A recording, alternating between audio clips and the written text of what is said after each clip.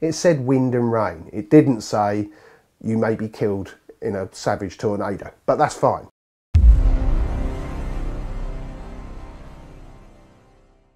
Come on! The aftermath. I don't even know if this camera's working properly, mate.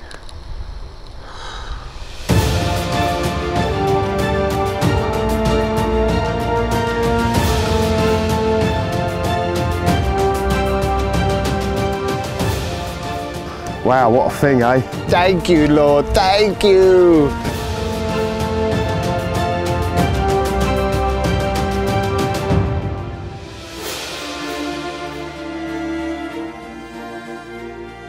I've been fishing on the continent for 30, would you believe it, 35 years. It seems hardly believable, doesn't it? I look that young.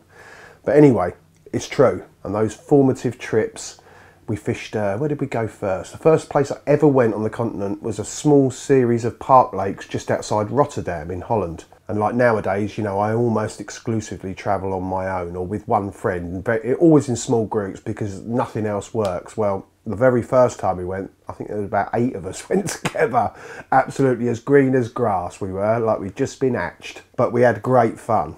And, uh, and of course, once you start on that path, well, you never know where it's going to lead you.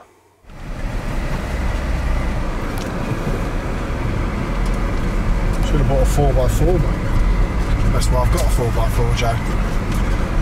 Should have bought yours. Yeah, we should have bought mine. We'd have been here hours ago. There's the old bridge of. Oh, mate, that spot. I have caught some carp from this spot over the years. It's a very difficult thing to do. That sort of style, the style of fishing that I like to indulge in on the continent. You're trying to do like what you'd achieve in a year here on a lake that you know very little about in a week, usually. Maybe 10 days, two weeks is a big trip. But you know, you're trying to condense everything into a very small period of time, and that's not easy. That's not easy at all. Uh, made even more difficult they say birds of a feather fly together, as a saying my old mate Frank Warwick used to say to me all the time, and it's very true. You know, you end up sort of coming together with people of a like mind and you pursue that sort of that, that style of fishing. But there's very little longevity in that. You know most people want to go for a lovely time a few beers a smoke a lay in the sun. You know you can imagine proper holiday fishing and it's never really been holiday fishing for me. It was back in the day you know when we very first started fishing the rivers and stuff.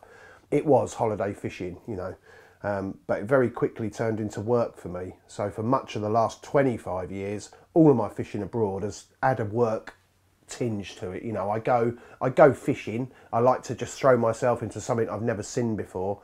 But I always need to come back with some pictures and some something, you know, because ultimately it ends up getting used for work, even if it's been vlog stuff or just pictures, you know. Um, so Fishing partners come and go because of the nature of the beast. Like I said, most people want to lay in the sun. I don't. I need to get some fish caught. Um, and I've realised, you know, I realised when when I went this time, you know, how selfish I am. You know, I my English fishing is work. It's always been work. So my European fishing is for me. So to have somebody tagging along filming me you know, made me realise just how selfish I actually am because all I want to do is appease myself. You know, I want to do stuff that I want to do. Um, and when you've got someone saying, oh, well, hang on, Nick, can we just film that? Like, mm, I didn't take too well to it, as it probably shows at times. But, you know, also, I actually really enjoyed it. You know, I came back from that. I went with Joe from thinking, and we actually had a really good trip. It was up and it was down. Um, but the, you know, the, the mark of a man is that you can go on those sort of trips where it's not always rosy and it's not always fun but you come back and you still had a great time. I think we've hit the end of the road for this bit. Don't think that van is going to get through that. Um, so reversing back up this track is going to be interesting. This is where I fished. I used to fish it 20 years ago. And I'll never forget it because all night, like we had freight trains crossing. It. I never got a wink of sleep. They were so loud you couldn't even even with your hands over your ears. Like it was like light, all the lights going across and that. Um, but it's deep off the back of this this bridge and these pillars. And we turned up here once years ago, and they were showing like out in front of the bridge. And I ended up fishing here and wanging out past the poles. And it was deep, 30 foot. And uh, I caught a couple of the real nice ones the first time I fished it. And then I came back a few times and caught them again. Um, but we can get over there on that bank, and we can get down further along this bank. We just can't drive through anymore. It just goes to show in 20 years, a lot's changed. Yeah, and what's the plan? So find somewhere down here to bait up for the way home. Um, well, we came to look here. Uh, you know, you've got you've got two rivers merging just upstream at the town. You've got the Yonne and the Seine, both mega cart rivers over the years, and they both join into this bit, and then they go all the way down till they hit the first barrage. and often the bottom end of a stretch like this, especially such a long stretch where two lots of rivers come in, you just you're, you're you know you're doubling the potential of there being fish about. And at the bottom end of the stretch, either at the start of the year or at the end of the year, they're always really good areas. And I know that between this bridge and the lock at the bottom, there's bites to be had. I just know it. Um, so we'll go round, have a little look. Um, if it looks like we can put some bait out, we will. We'll stick out five key. Um, we may not come back here, but this is the thing with short trips. You, you're edging your bets all the time. You've got an awful lot to think about. You've got seven nights.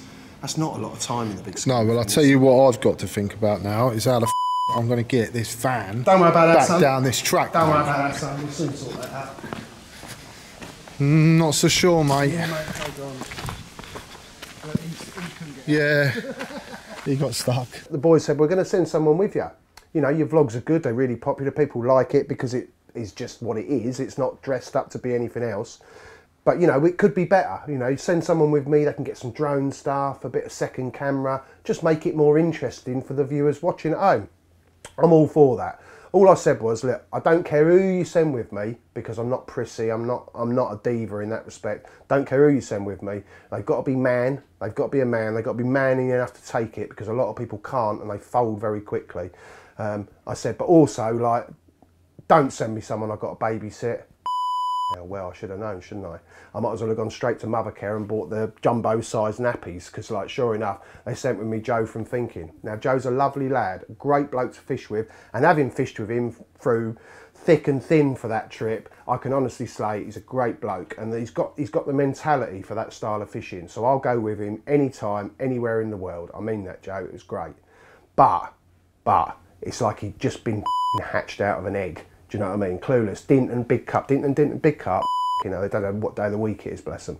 So anyway, Joe was great, but Joe needed a couple of days to be.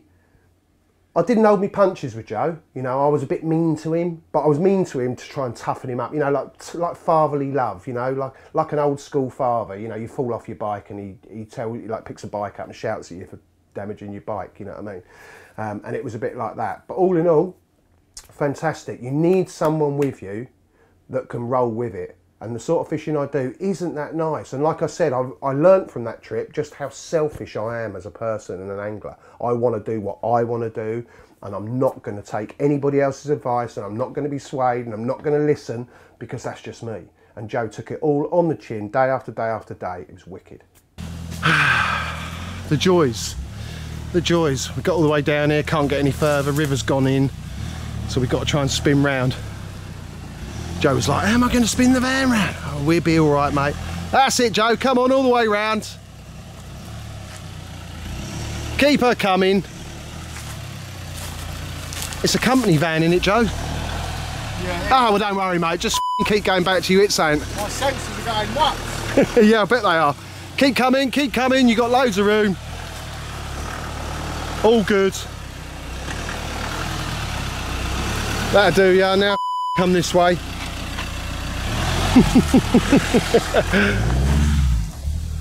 oh. Yeah, just keep going till you're a splosh. Cheers, mate. You got miles, mate. So yeah, through the old thing is the old big bridge. Typically it's so overgrown these days you can't see it. But we're on our way out to a... And this is the thing, so many people wouldn't realise that when you do this sort of fishing, half your trip is driving around dead ends and then having to turn around and start again.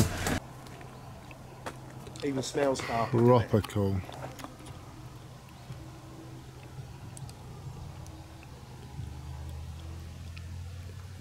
Nice spot, mate, isn't it? It is, mate, yeah.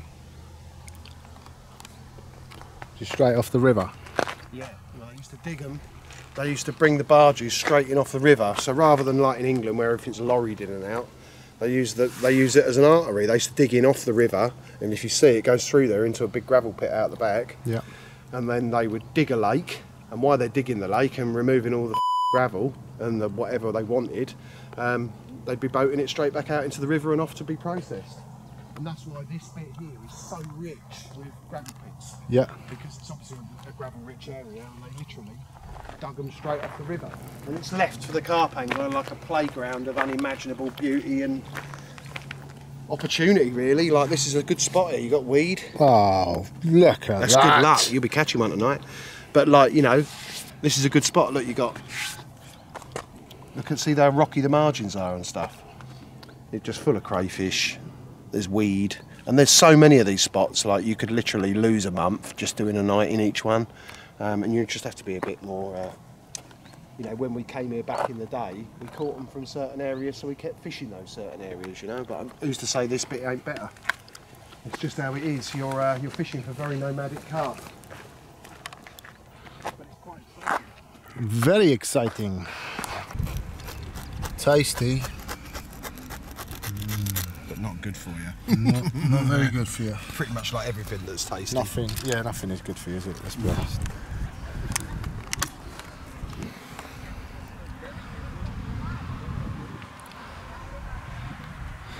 Been a long old drive, isn't it? It's been a very long drive, mate. Yeah, taken about. So we're about three hours south. Um, kept running into uh, lots of potholes. Um, so yeah, couldn't actually get to where Nick wanted us to get to in that van. So uh, yeah, drove down another hour. Um, I think this is furthest south we're actually going to go. So we're going to do a night here. Um, and yeah, see how it goes. It's very weedy though, very very weedy. First of all, munch up, munch it, munch it, because we are starving. Ank Marvin. Ank Marvin. I'm in France, son. Look at that. Cheese, salami, tomato. Oh. I'm living the dream. But whacking a bit of coleslaw Yeah, in there. well, that's innit? what I Oh mate, missing. a of Coleslaw and beer, and then I'm going to have a look at my spot. Oh yeah, Oh yeah, so I'm going to put this camera down and get myself one, mate. Wrapping the hook baits.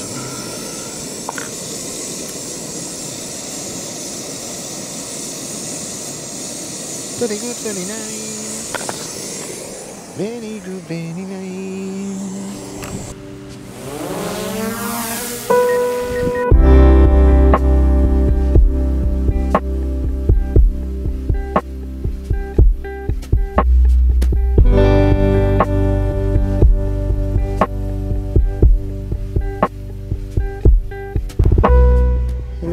Joe's getting a couple of rods ready. No, I'm not. no, no, oh yeah. And there's me. I'm here on the canal. Got a couple of rods out already. But what a nightmare getting them rods out.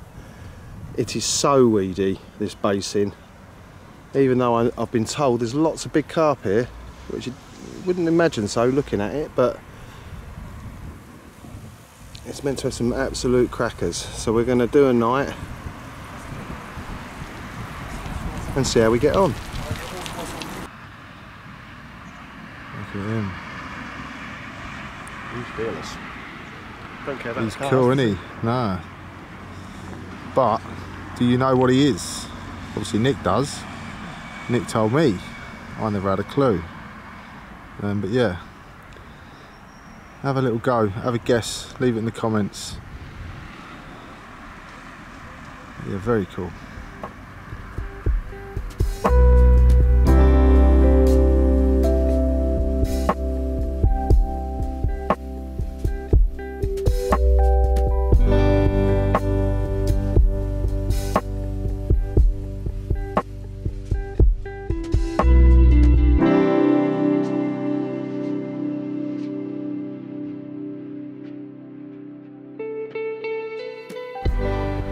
Many of them, do you, in the middle of a town? Little koi poo. Right in front of me, eating the old weed. That's a lovely evening. Joe's doing arty stuff. duh, I'm drinking a, a Beaujolais. I've got some rods out, even though To get the little boat out to drop them because it is literally solid to the surface weed. I reckon I had a thousand drops of a lead before I got one to hit the bottom. Hmm, someone's in trouble. Um, and when I did get one to hit the bottom, I didn't mess around. I just chucked bait over it and put it on the rest. So we're in the lap of the gods tonight. But hey, it's a mad place, and apparently you can night fish here, no problem. The locals are all lovely. Main road opposite you. Very unusual in France. Really, really unusual. And meant to be some very big fish knocking about. That'd be wicked.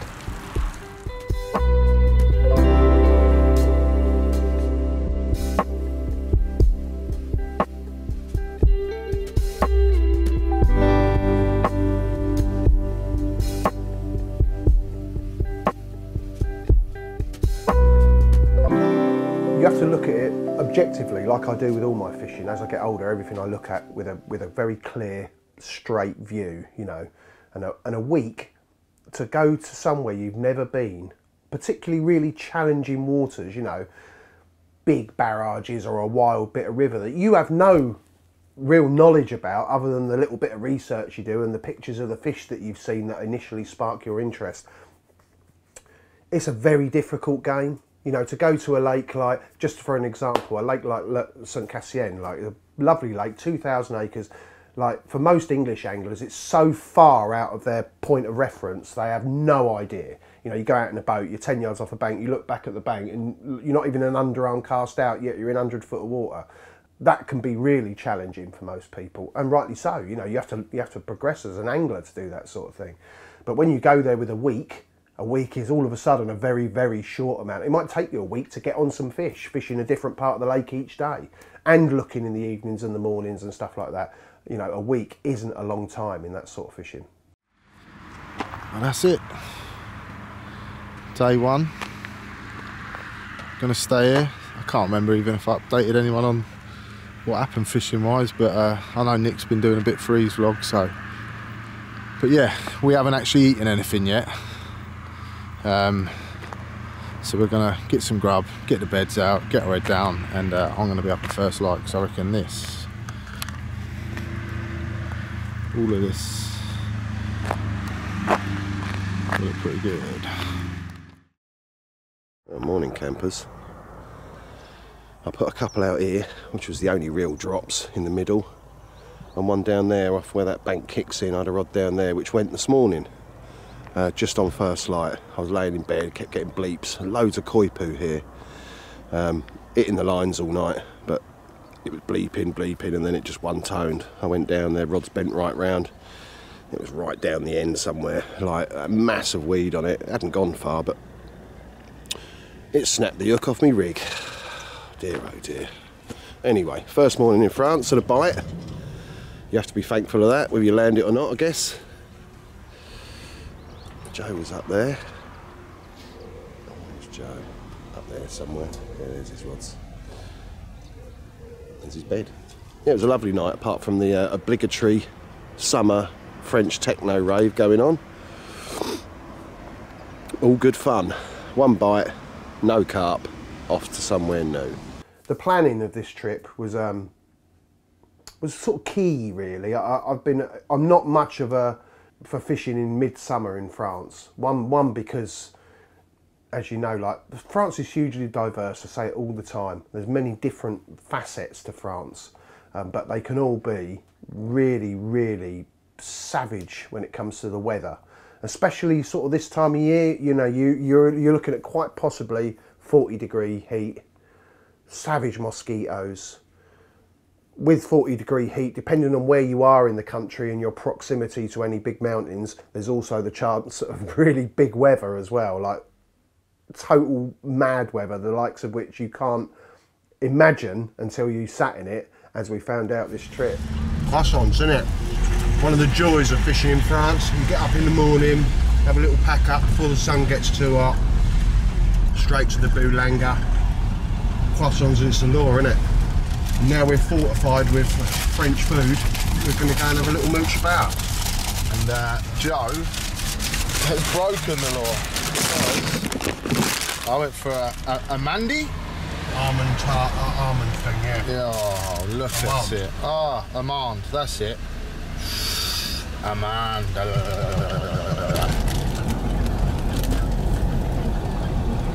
Round here, like, loads of bubbling. It's really low, isn't it, Nick? What? Nick's quite excited about some bubbling, which is Oh going. no, I've just been watching bubbling from a long way away. But I'm, I'm more excited about this, I'll be honest. Yeah, that, that's, that looks more like cod, doesn't it? But we'll see. Sorry, Nick, back to the fishing. It's all right, mate. Now, what we got is like obviously we've had these mega temperatures, and this canal, this these sections, by the look of it, are at least a couple of foot down. I would have said. Oh, there's one right opposite us. There's one right there. Yeah. I've just seen the bubbling. They were carp. We're getting rods out, so We're getting rods out. Come on. There you go, how's that for a touch? With the water so low, we were able to see some fish. We weren't sure whether they were carp because it literally is maybe a couple of foot deep at best. Anyway, we've plopped a couple of rods out left and right, and one of Joe's has just gone. We've only been here an hour or so, which is lovely times. Hopefully, it's a nice carp to show you. There you go, he's got it. Numero uno. numero uno for Joe. And you can see, look behind him, just how low this canal is when you look at the far side and that. We reckon it's a good cut of foot down, a good cut of foot down. Anyway, lovely start. Nice 20 pounder for Joe. Looks like a 20 pounder, doesn't it, mate? Chipping away with a little bit of work. Managed to get a couple of rods down. Just down from where Nick was fishing down there and uh, winkled the first one of the trip. He'll do. Go, first one of the trip for Joe. We just put the rods out. I went left, he went right. There was bits we'd seen stuff. We weren't sure whether they were carp because the water's so low. They could easily have been chubs or bream or something, but no, they're obviously carp. what's that? No, Right, let's get down there quick. packed up. Yeah, Where now? Uh, yeah, we're just, it's very, very low, the water. There's no movement of boats between the locks. They've obviously, where we fished last night, they've held the water back a bit. Um, bloody seatbelt alarm. they've held the water back into the little basin where the boats are. Um, but with no water movement, it's no surprise it's as weedy as it was. Um, and it's less weedy, but barely any water. Like the deepest spot you've got is probably thigh depth. Uh, Joe caught one. We've seen a few about, so it's obvious that you can get a bite here. It's just not much fun fishing for them when it's like this. So we're going for a mooch. We're going to go and get some cold beer because it is really hot today. We're going to go and look at a lake down the road, about 20 minutes away. That's meant to have some really lovely carp in it. And um, yeah, we're going to check out the rest of this canal, like through the next stretch, and just uh, do a bit of plotting for tonight. You know, once we've had a little look around, we can make a decision, and once it cools off, we'll be back to have a go wherever that may be.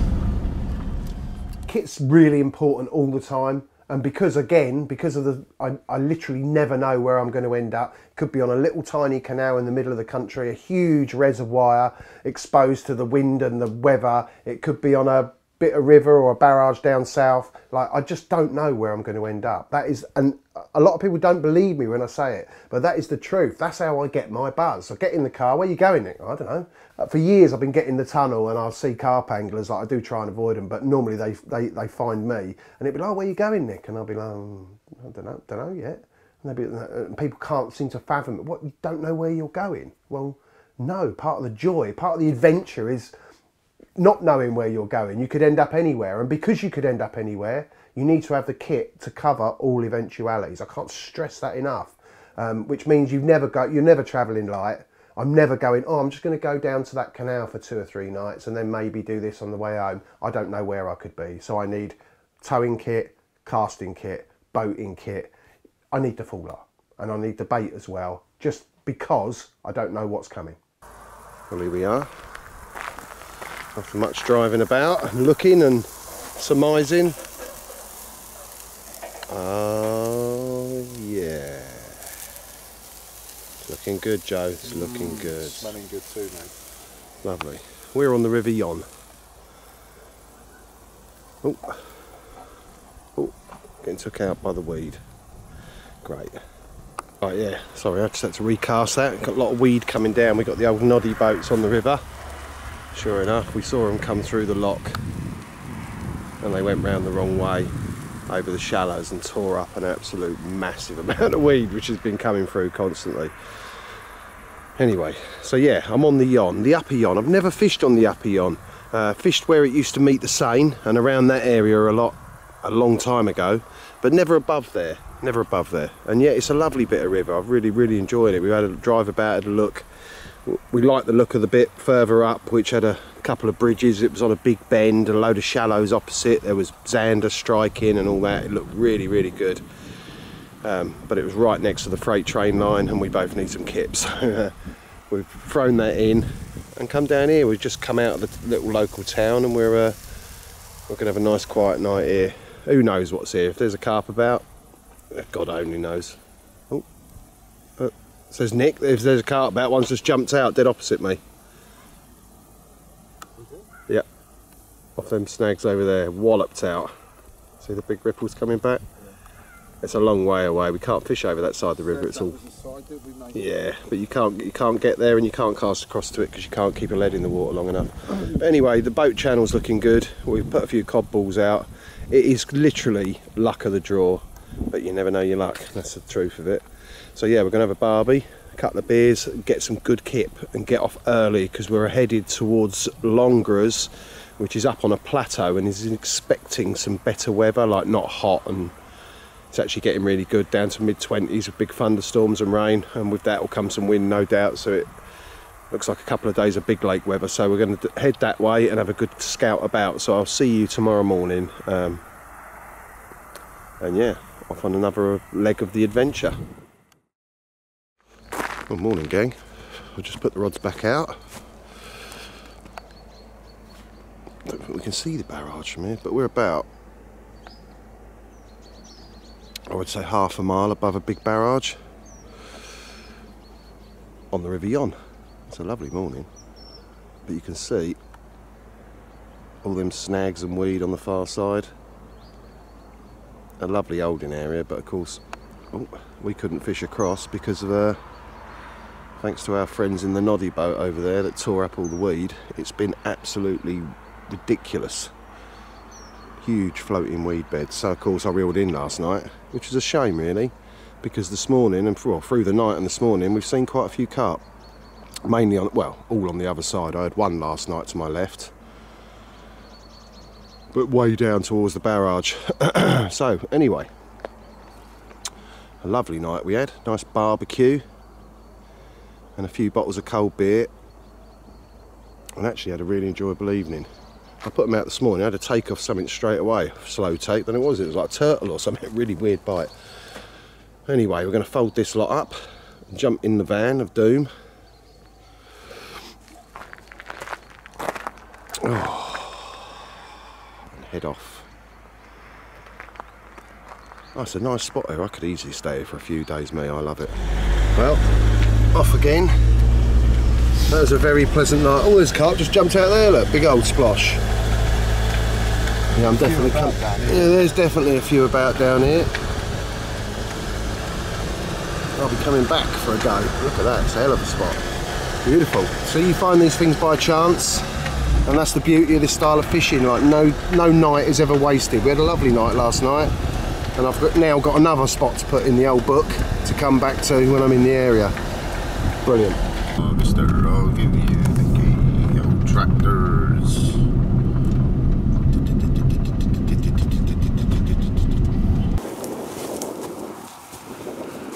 Right, Joe. How's it going, mate? Fancy doing a night here? Seems all right here. What do you want me to put in there?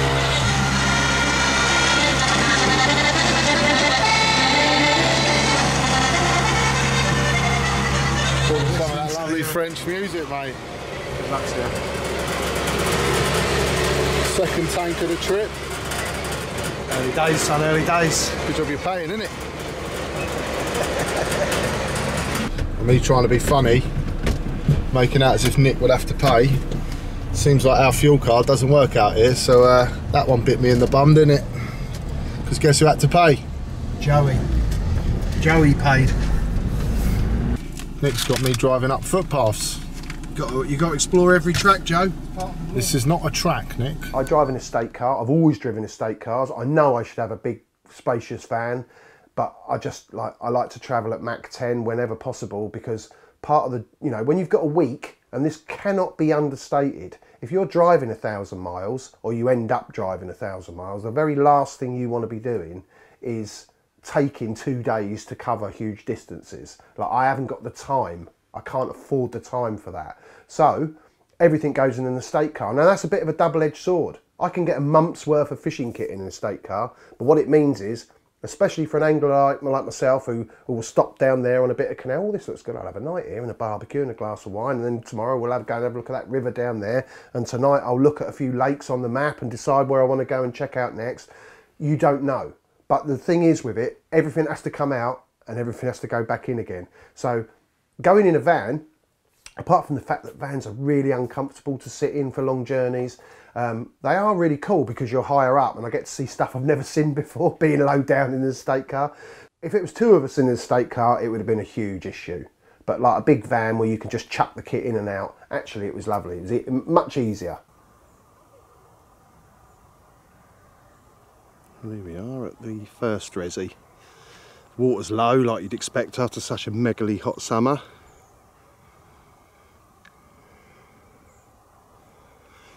But it's lovely times, look. Got the old bus right in the swim.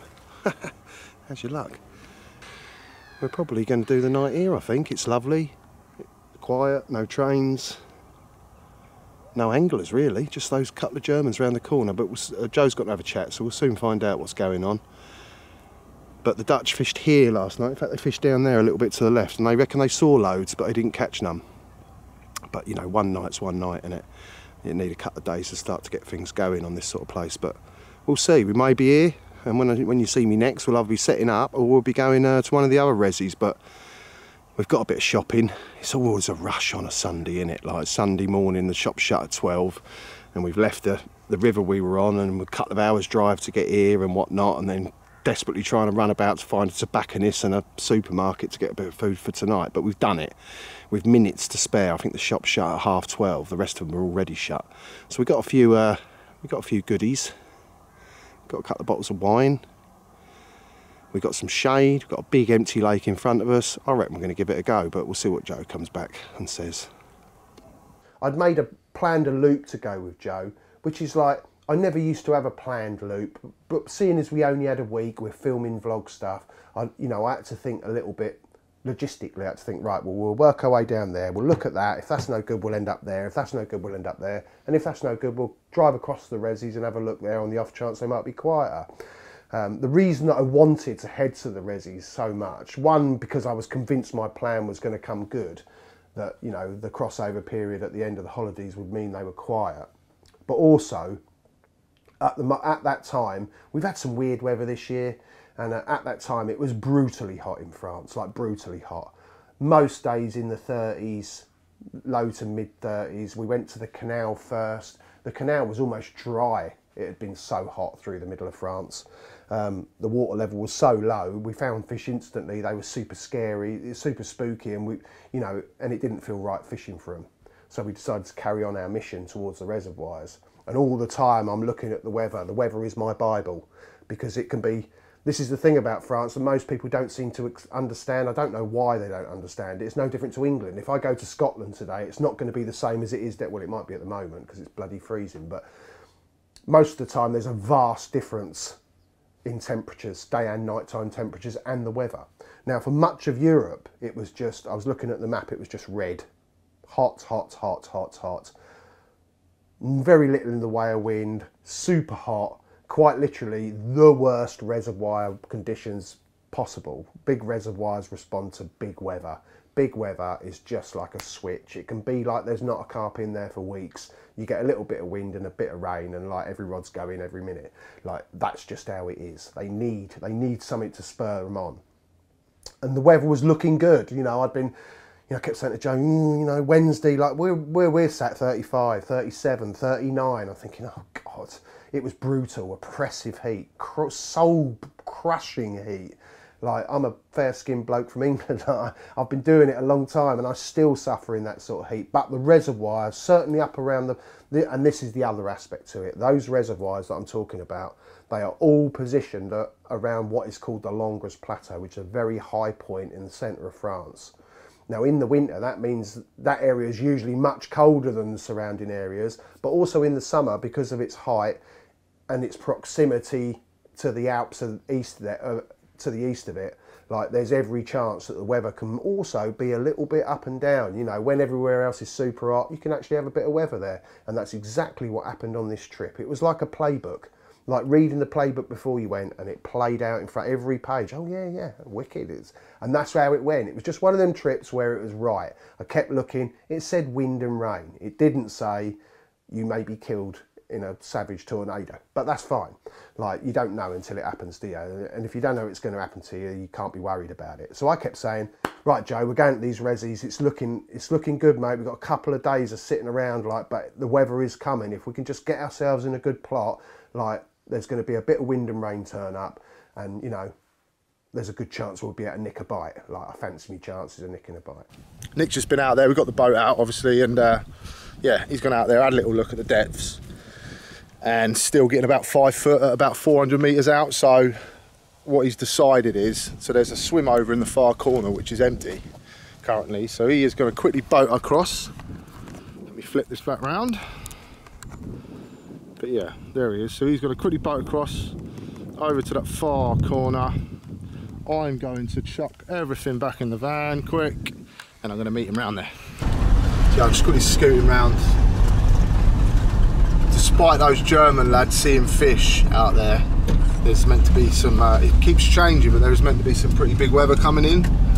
Um, so we kind of want to be in position for that really. And uh, you imagine it's all pumping into that swim as well. So you imagine fish that are there now, when that weather comes in, are probably going to back off, you'd like to think, into that deeper water. So, yeah, I think Nick's got it right. Time will tell. That camera's ended up all over the place. Woo, can you still see me? Very quick dash. It was all stations go for a minute, but the swim has been secured. Nick's tying up a couple of rigs. You got I've got a big curve shank. I've got a cam soft straight through, tied, I don't know, 14 or 15 times up the shank, and uh, with a big cod ball, and a bit of a and a bit of a, a big bit of rubber maize as the boilie stop that I fold the big loop round so nothing can pull it off because you're not fishing in England remember if you leave normal rigs out there you got a proper you've got a problem Mush. proper nice lump of lead, lead clip, thick leader. What sort of ranges are we going to be fishing or? Um, I'm, this, you know, this side of the lake is, you know, I went out off that far side. Look at the water dripping off me, mate. It's red So hot. it? Um, I went out probably three or four hundred yards. It was four foot. I was clumping the the engine on the bottom at, at bloody nearly 200 yards. Uh, but this side, you know, it, go, it drops down pretty quickly to 10 foot. The bottom's harder. Um, it, even though the wind is due to go where we were going to set up originally, it's so shallow out there. There was two Germans to the right who were fishing out this side of the marker. They're probably in the deeper water, whereas we would have been in five foot. If, if you'd have gone extra and far, you might have got a six foot rod, but it's soft and whereas out here's a different kettle of fish. We command a huge piece of water. No one can Yeah. fish all that dam. So no, basically we've got half the lake. And that to me says, well, we might as well give it a go for 48 hours. I was very excited about uh, mine and Nick's little uh, trip to Europe, but a little bit worried as well because obviously I haven't got loads of experience when it comes to uh, filming. And when you've got someone like Nick who's a bit of a free spirit and you're trying to put the handbrake on him, it's not always ideal. Nick just wants to go. I need to get him to stop. So my concerns were uh, were were spot on because uh, he was an absolute pain in the ass. All right. His first one's done. If I can get him to slow down in a bit, I'll actually uh, get him to show us the rig properly. See you in a bit, Joey.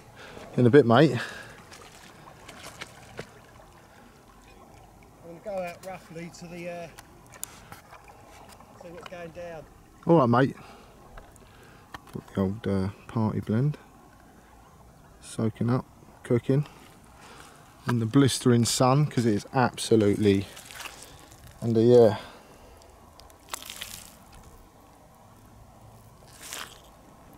I need to come better prepared next time, I think. Problem is, you can't even uh, risk just running down here without any shoes on because there's loads of broken glass in this, so uh, yeah, that would not be smart. This is a new and strange environment at first, suddenly finding yourself in orbit.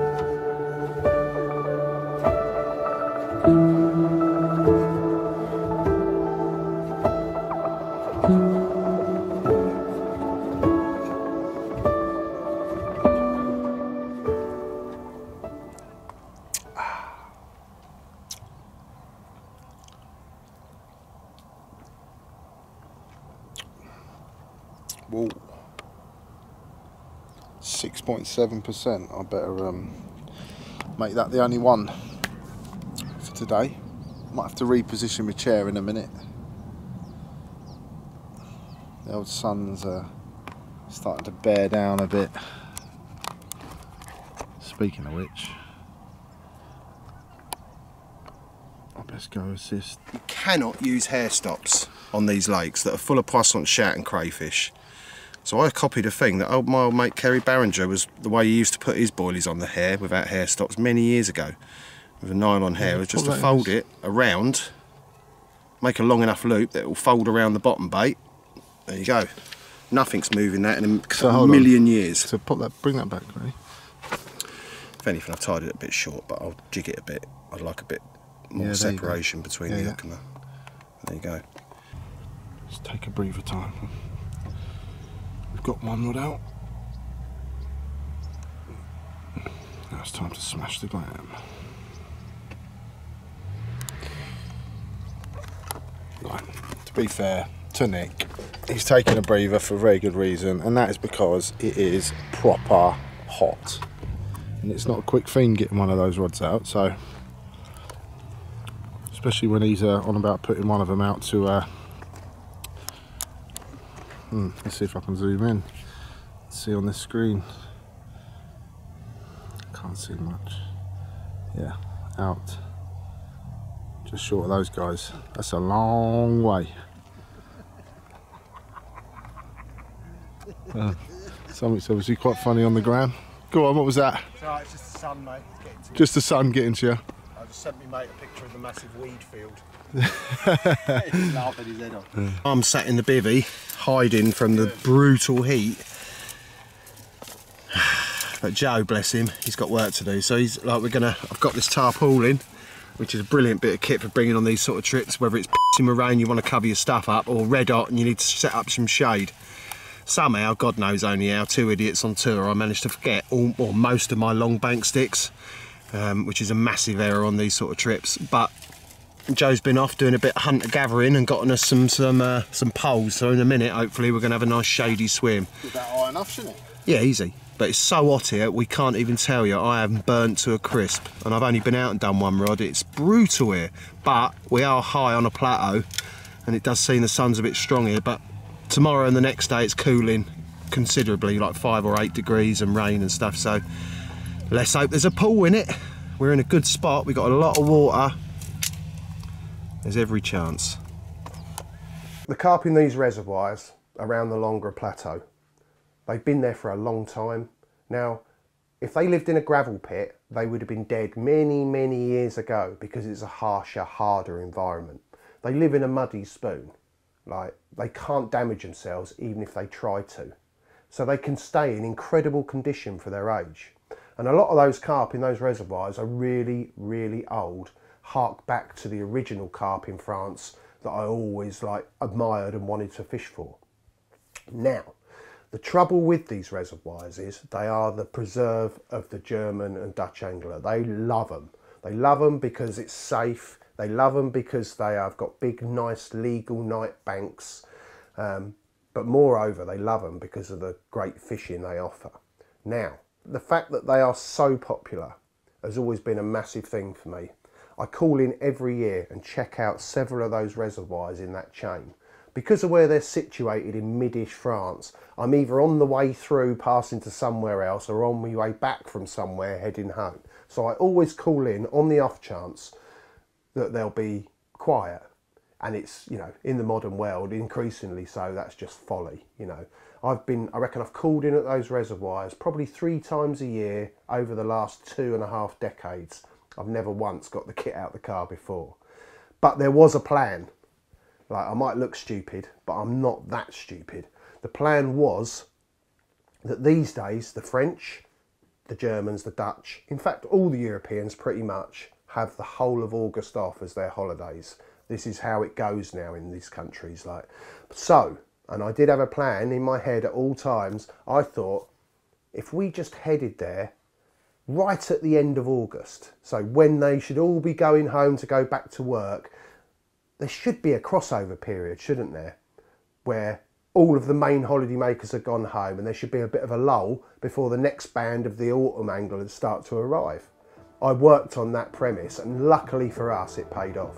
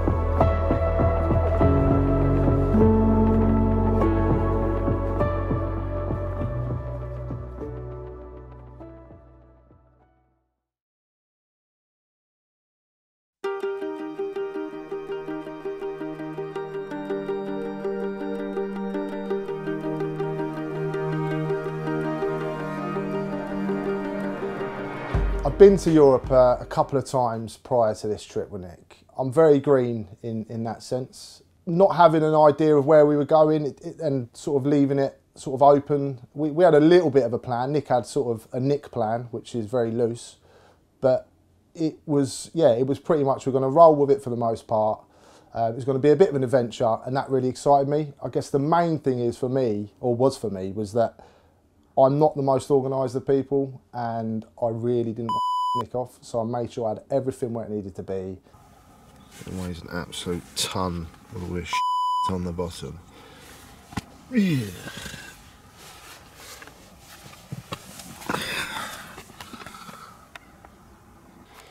Nick's not messing about. There were some guys opposite. Um, oh.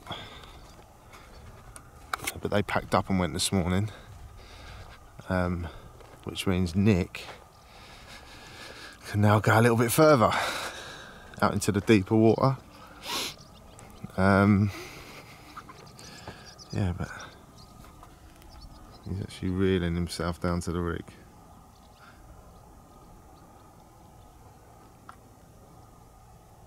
Saving the old power on the battery.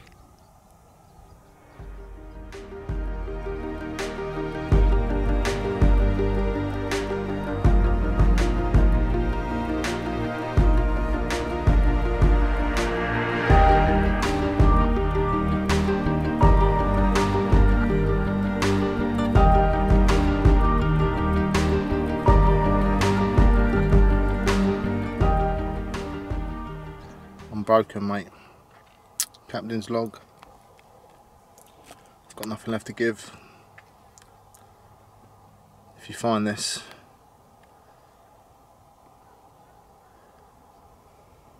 just tell my family I love them.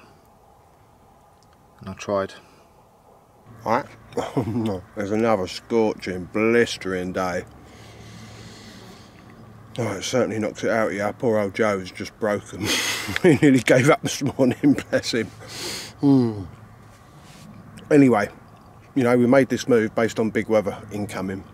You know, big reservoirs require big weather. There's not a lot of topo topographical variation out there. And the fish really do usually need a nice wind or a decent bit of, you know, nice bit of low pressure or something coming through to uh, make them have a little feed. That's quite clear because we didn't catch any last night. And I had my rods well spread at mega range, like all the way down the middle of the reservoir, really. And I'm putting my other rod out tonight, so I'll have four out tonight, so no excuses. Um, but yeah, I reckon, based on everything I saw this morning, it'll be another quiet night. About mid morning tomorrow, I've got a couple of mates from England popping in just to say hello. They're on their way south a bit further, so they're going to pop in for a cup of tea and that in the morning. And then um, about 11, I think mid morning, 11 ish, something like that, the rain starts. And it's meant to rain all day. Oh my god, that'd be a blessing, wouldn't it? Like I'll be sat here then, like buzzing, you know, buzzing, expecting something to happen. But yeah, let's hope so.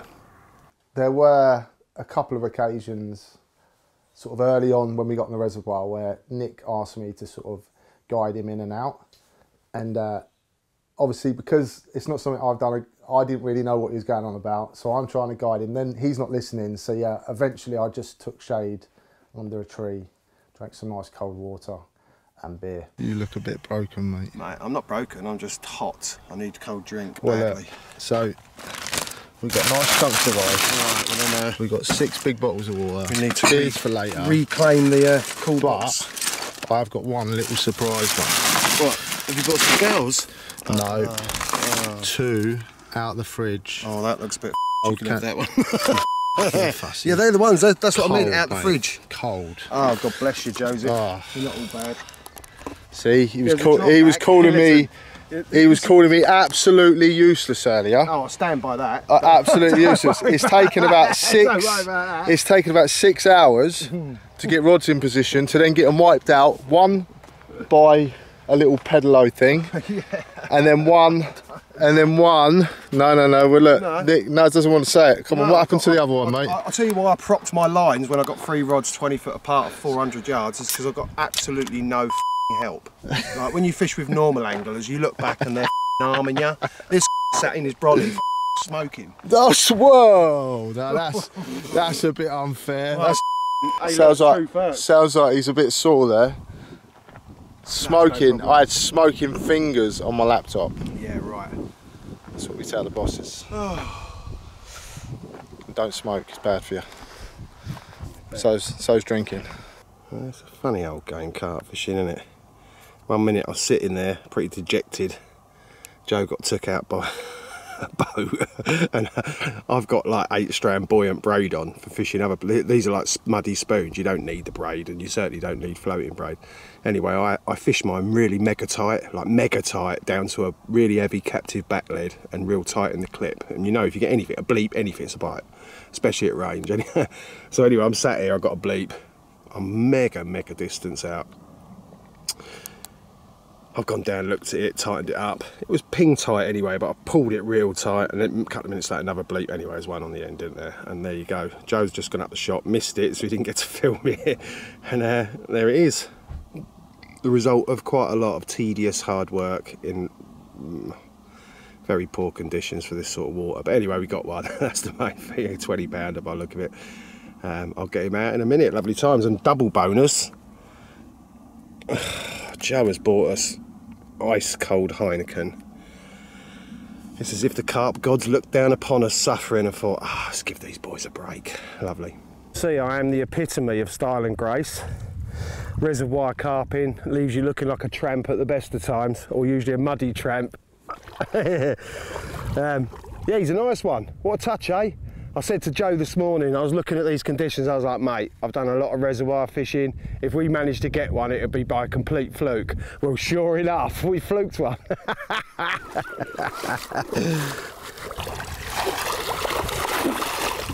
He's very angry, and I can't say I blame him.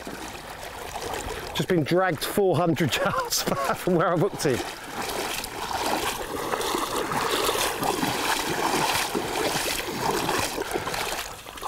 Could you imagine doing this all week long? You think back to them Chantecoq days when they were catching 100 in a week when the water was low.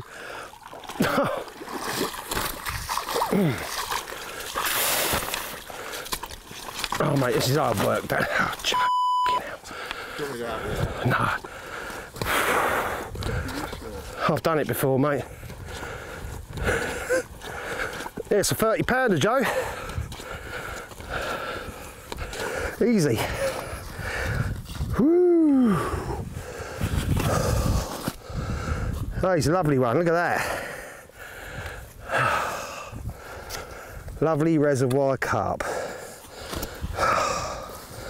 He's alright, isn't he? His old tail, look. He'll do, mate. He'll do. I call French carp, he's an handful.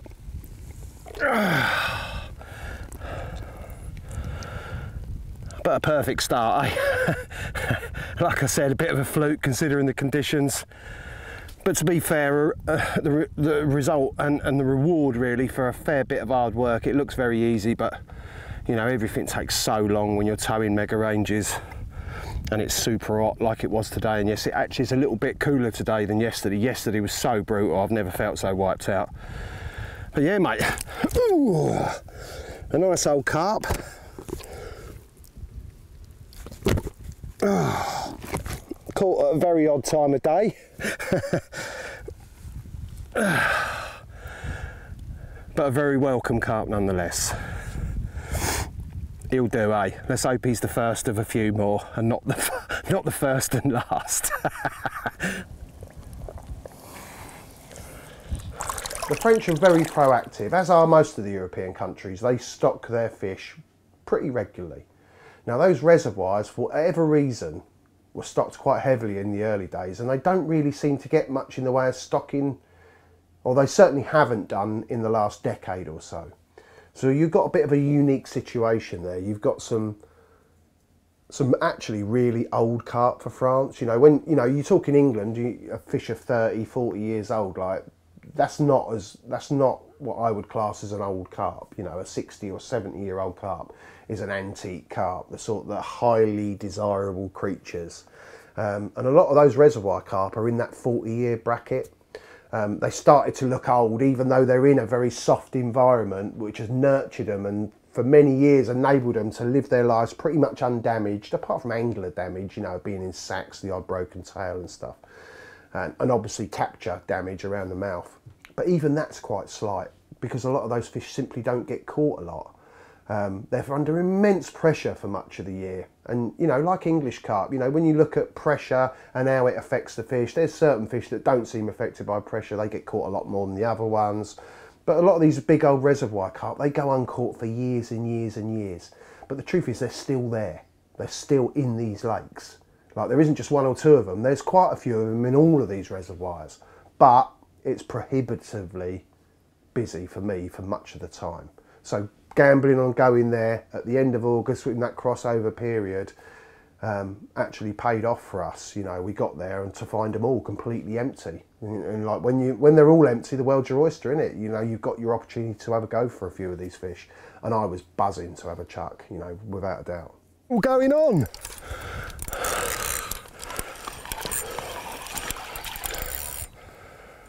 Oh, ho, ho. you luck, eh?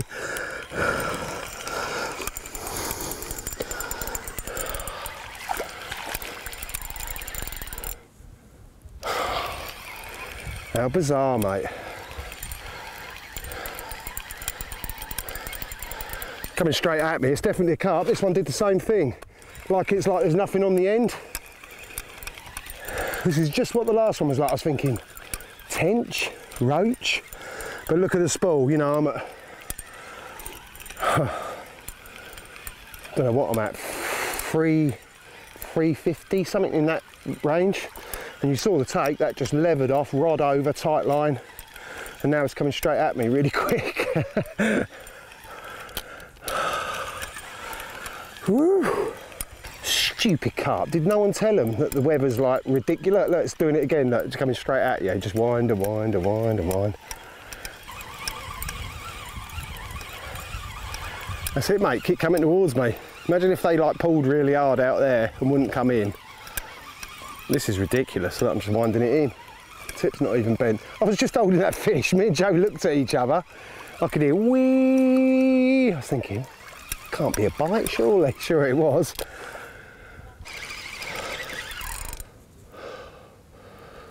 Jeez, it goes from like the easiest thing in the world to reel in to like giganticus. Need to get out of this sun, mate, before I actually cook myself to death.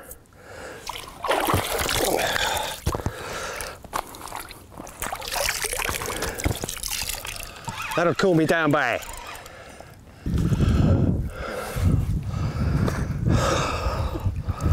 Like a wild man, look at me. Yeah, you keep laughing. Yeah, laugh it up. laugh it up, fat boy. oh, mate, that's so much nicer. Oh, Jesus. I'll tell you what, I'll put me to, uh, Ah, oh yeah, baby. Ah. ah, I prefer money, but water will do. Here he comes.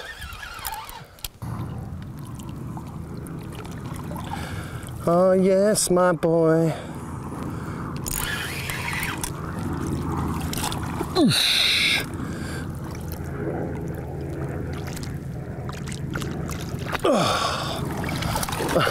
well done, Joe.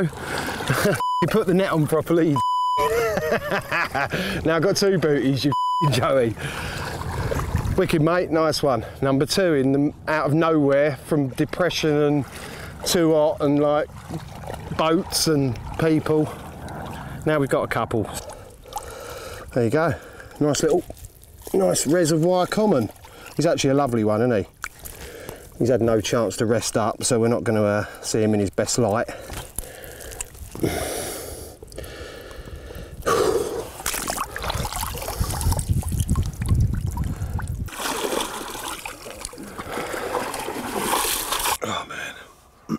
Brutally hot here. I don't know about so much a fluke that last mirror, the mirror 30 pounder, real nice one. Um, but I just caught another one. So uh, both on um, basically yesterday I started out with tigers, peanuts, hemp, that sort of palaver, and got took out straight away by roach and was getting pulls on the hook baits. Lead shook off at last thing you want is a lead shook off at 400 yards. I can promise you. Um, and yeah, so I chopped it all out. Stopped 20. I just put 24 millers, janked in a cloudy krill liquid which gives them a nice stinky smell. Anyway, that's enough. Like, you know, I don't know, five or six good handfuls, a kilo of boilies around each rod. And uh, both the rods with 24s spread liberally around them have gone within an hour of each other. So, yeah, despite the brutally vile temperatures, um, we're holding out in hope that this weather's coming tomorrow and it's going to be a bit cooler and a bit wetter. And, uh, and the fish should feed a bit harder, hopefully but yeah, great to be off the, off the mark because it's been testing the last couple of days with the heat. Um, yeah, brilliant. Couple of carp under me belt, lovely times. on the outside looking in, I think you could almost be forgiven for thinking that Nick's possibly a little bit blasé, lazy, almost. But that couldn't be further from the truth. He's got like an intuitive nature when it comes to angling. Like whether that's come from the, the amount of time that he's done it and, and the experience or what, or, or maybe it might just be be a natural a natural uh, gift almost. But couple that with the effort that that he puts in, and I'm not sure if I probably gave probably done it justice in terms of what what, what I was filming, sort of uh, behind the scenes almost. But it's second to none. Like most people in that situation, especially on that on that reservoir when it was so hot. There's no way in the world I'd I'd have redone my rods. I'd have just sat up in the shade, drank a beer, chilled out, relaxed. But he would not stop. It was relentless, and uh, yeah, I just think it that sums up Nick pretty much. Relentless. It is absolutely boiling right now. So uh, yeah, fair play to him for uh, getting back out there because that is a long way and it is really warm. Like a desert. Ugh. Ugh. But yeah, like I say, fair play.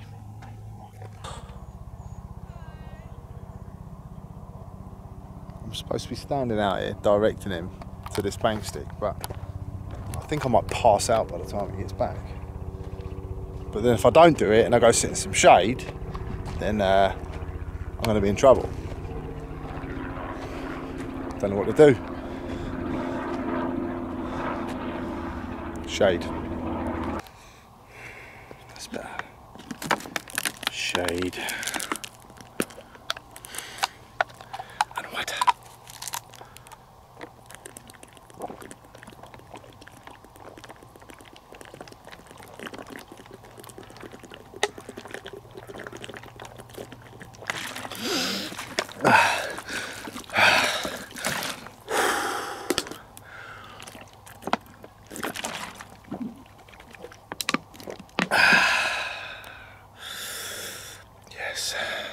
Only uh, was I green to the to that sort of style of fishing, but um, I'm very new to the uh, to the filming as well. Um, I literally got a brand new camera the day before we went. All I kind of needed from Nick was a little bit of patience, but unfortunately, uh, he doesn't have a great deal. Here he goes again. Got to be careful he doesn't see me because he actually said no more filming him. So uh, he's hot, he's bothered. He is Nick Helleur.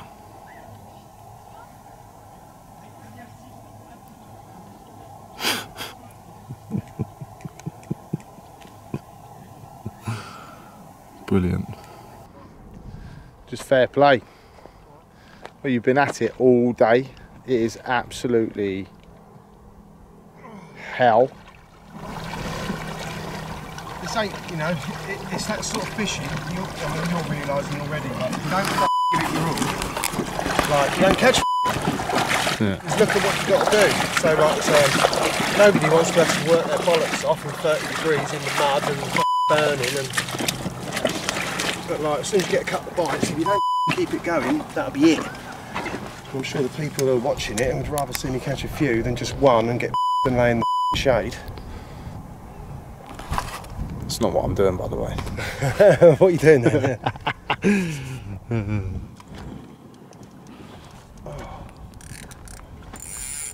That's a long way, dude. It- it- that was a that is a proper long way, mate. Yeah, 400 yards easy.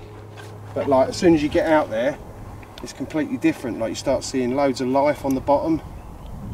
I'm not sure they're carp. They move a bit. You know, carp usually gone before you get over them.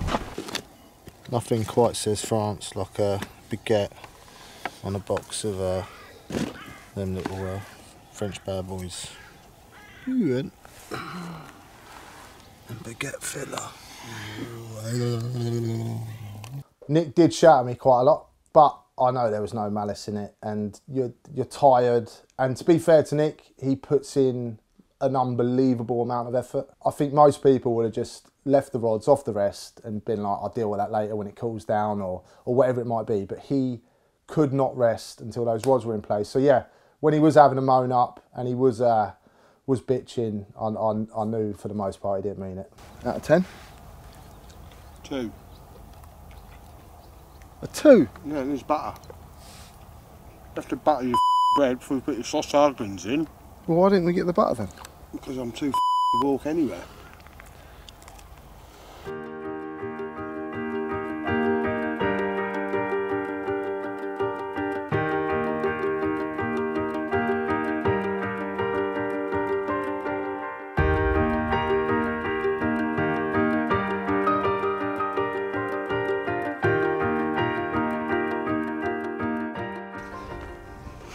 He's away.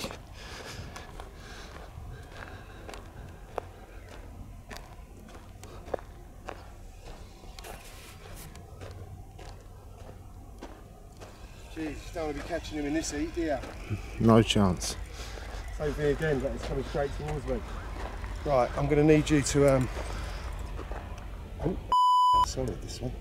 I need you to go and get me my waders, mate, so I can Oh, get mate. out to it. Pop this down then. I'll the, get uh, do that. Two seconds. I can't even actually see anything. My glasses are so steamed up and I've got so much sweat running in my eyes. I literally can't. it's like looking for a frosted up window. God, it's a powerful old carp, this. Every inch of the way it's been like a lead weight.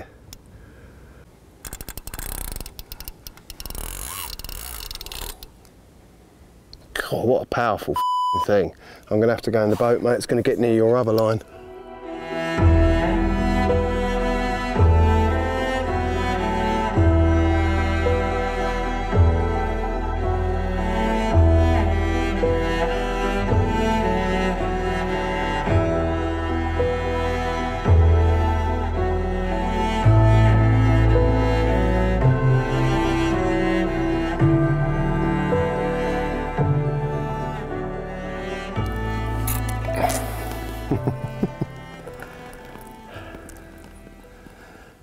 Nice carp, he? No wonder he was strong. It's been a hot and long day, but three carp has made it a bit more bearable. Out of nothing, fought a fluke one, then got another one, and then another one to end the day on. Lovely times. I tell you what, we deserve a barbecue and an early night because it's to joke and attest to the fact that today has been non-stop graft. Thank you very much.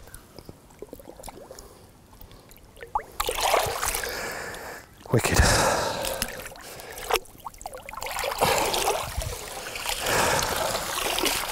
Whew. Too hot for me, Jack.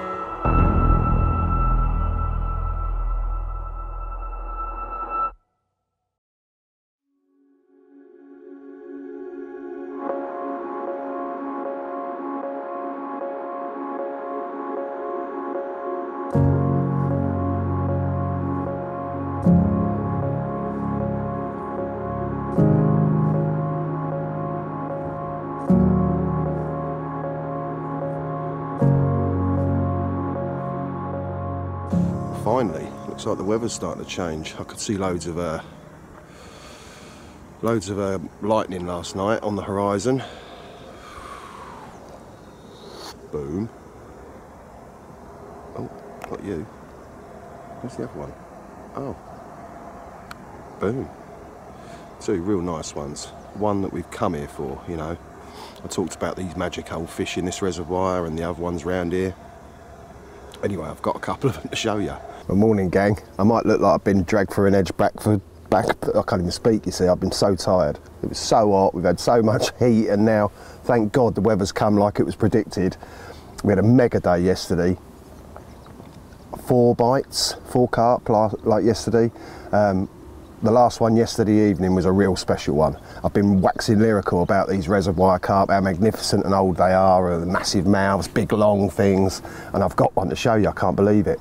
Like absolutely, I wound him in from like 350 yards, like as if there was nothing there. And then right at the last second, like several of them have been, like he's on the end, and I knew straight away it was a big and like big, powerful fish. Like anyway, I landed it.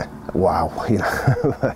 Uh, uh, sometimes I can't talk, and it's not surprising. Like I'm absolutely knackered, but I'm also elated because like we came here to do not the impossible, but a difficult task to come to these waters and catch them to order, uh, and we've done it. And like we've got a real nice one. And then to cap it all off, just before like this morning, I got another real nice one, chalk and cheese, long and and and broad and and thick and short and deep and wide, like just perfect.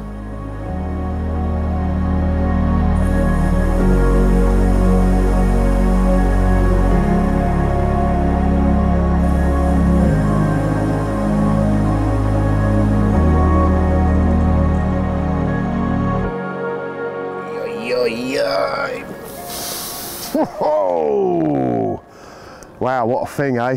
What a thing. You've got to be happy with one of them, I know I am.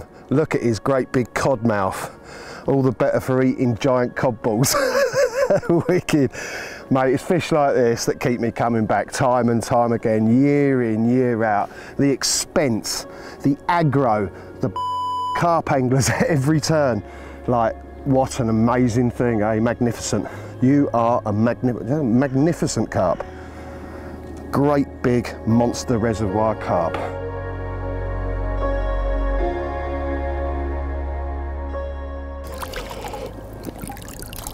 Oh, magnificent, eh? What an incredible morning. Oh, we haven't weighed it, it don't matter. This is what we came for. Like these are just the most special things. So it's really, really lovely to catch one. The weight would just ruin it, wouldn't it? As soon as you start putting numbers on things, Oh my God, what a what a creature, eh? Absolutely blown away with that. What a cracker, eh? Oh, you beautiful thing. All right, lovely.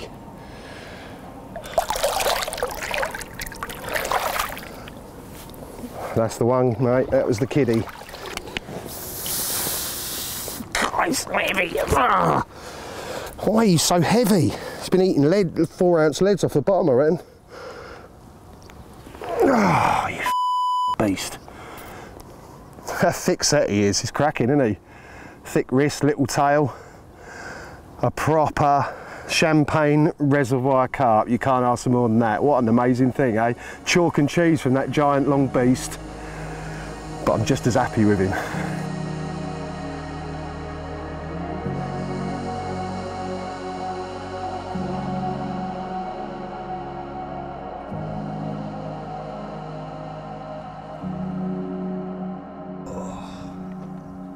Another blistering day.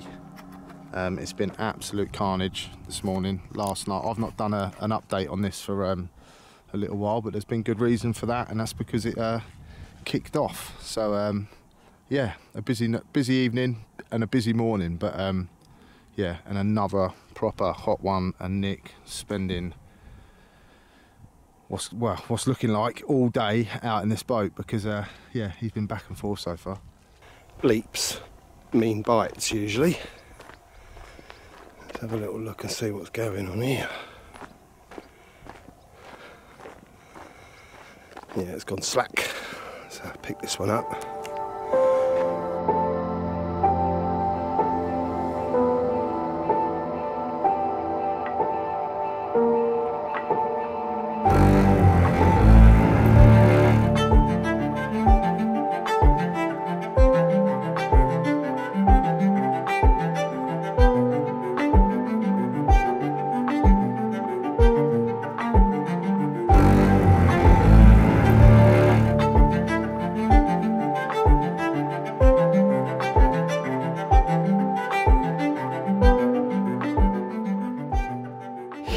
Fight of death, like literally the slowest, heaviest, most ponderous, head shaking monster.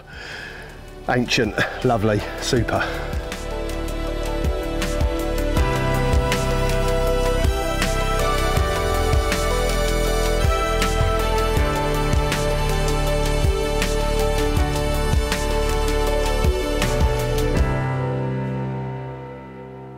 It wasn't a long week to me you know, a week's fishing is never long.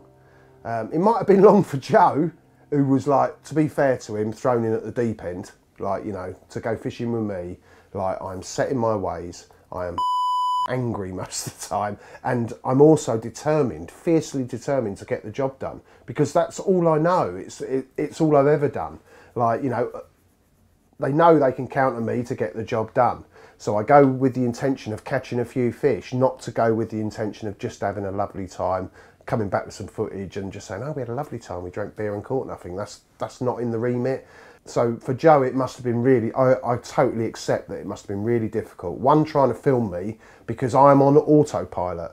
Jan Porter once said about me, my old mate Jan Porter, bless him, long gone, he said, uh, everything you do is instinctive, you don't even know why you're doing it. And, and I totally get that like I am on autopilot. I've done the same thing for so many years. I turn up, the rods are out before you've got two, and a lot of the time everything's done before you even have a chance to enjoy it. I don't get, often get a chance to enjoy it myself. Like it just, that's how it plays out. Well, we've been waiting for this weather to come in. As you can see, something's changing. The heat is so oppressive, it's sickening. Luckily, Joe couldn't get any ice from the supermarket, but he managed to cut the cold cronies and that's the next best thing in it. So anyway, while he was away he had a bite. Luckily he turned up just as he got back but sadly lost it to a cut off and now this one's away. Hottest time of the day but we're forecast rain in the next few hours and then it's going to really kick off I think. but honestly I've had me feel. I'm going to fish the day out and have the night off I think. And tomorrow we're off to somewhere new for a nice change of scenery and a fresh challenge.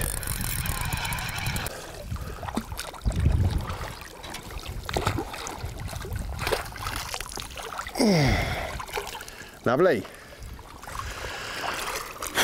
Shake the sweat out of my eyes again, but I can feel it. It's getting a little fresher in it. Like that rain is fast approaching, and the, and the breeze is starting to like have a little bit of coolness into it. Up till this point, it's been stifling. But anyway, what we got here? We got a lovely mirror carp.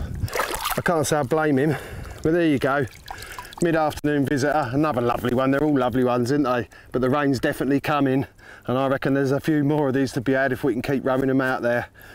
He's a lovely one, isn't he? Beauty, happy days. Always look for the biggest one, the most around it. That's good angling, isn't it?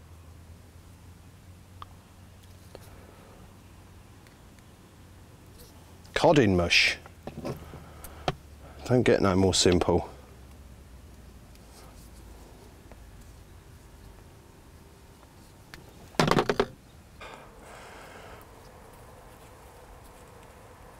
When you're doing this fishing, it's all about speed, quickly, being able to replace your rigs. I don't make rigs at home. And that, with a cam soft, that's just a four or five turn grinner. Like, that can take an incredible amount of, pressure and it ain't gonna give way because it never does. There was big weather coming up from the south, uh, up from Lyon. Um, and I could see that already there'd been some quite big squalls on the way up but I didn't gamble for what happened next. These storms, they were unseasonable really. Midsummer storms, like oppressive, brutal heat for weeks on end means that sooner or later there's going to be an almighty crash and something's going to go bang. Lots of lightning, huge downpours. We're used to that in France. I go kitted up for that sort of thing. But what actually happened was we were sat on the reservoir, the big weather rolled in, but of course, as it's coming up from Lyon, Lyon, if you drive from the Langres Plateau to Lyon, it's downhill the whole way, the whole way, downhill. Dijon, Chalon, Mâcon, Lyon, all the way down the motorway, downhill the whole way, the whole way. So you can imagine as this, this supercell came up from Lyon, and it was a supercell, there's no two ways about that, as it came up onto higher ground, it morphed into a raging monster. That's the only way I can describe it. Uh, now I've been in some really serious storms in France. Probably in over the 35 years I've fished there, probably I've had it half a dozen times that I've been in in big storms. But this was certainly one of the scariest. Uh, was it any bigger than stuff I've been in before? I couldn't really tell you. But what I can tell you is it was brutal and it was quick. You know, it was one of them sort of storms that was that, like a tornado is as close as I can describe it. Um, I've watched lots of footage of big storms. I, you know, that sort of thing turns me on. I'm an angler, I'm an outdoorsman. Big weather is, is exciting. But this was exciting and then it wasn't exciting. it, it, just built. It built. It came in. We had a bit of lightning the night before. I was laying in bed, lots of flashing on the horizon, and I thought, oh god, it can't come soon enough.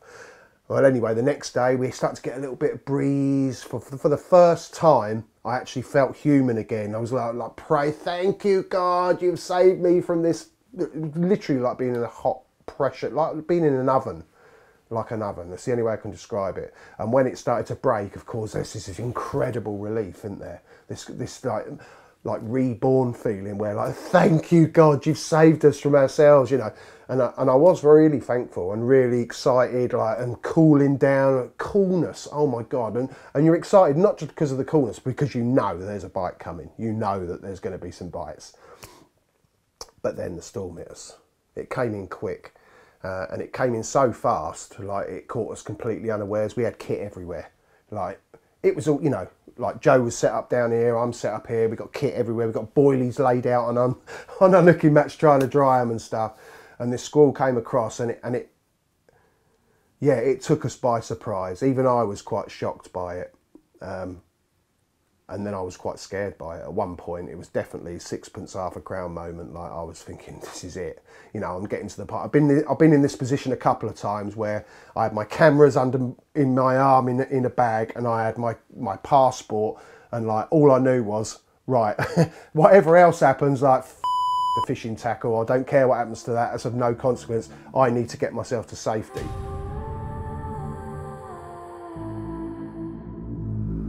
The silence can be cruel. with everything to lose. You can hear a pin drop filling up the room. Shadows in the sky, running out of time, drowning in the questions.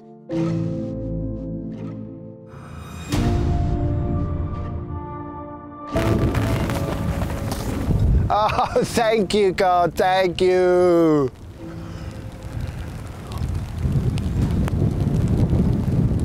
Oh, mate, I can't tell you how good that feels. After days of literally cooking in my own juices, I'm now feeling like, ah, ah, now I can see why people get religious. Do you know what I mean? Thank you, Lord, thank you.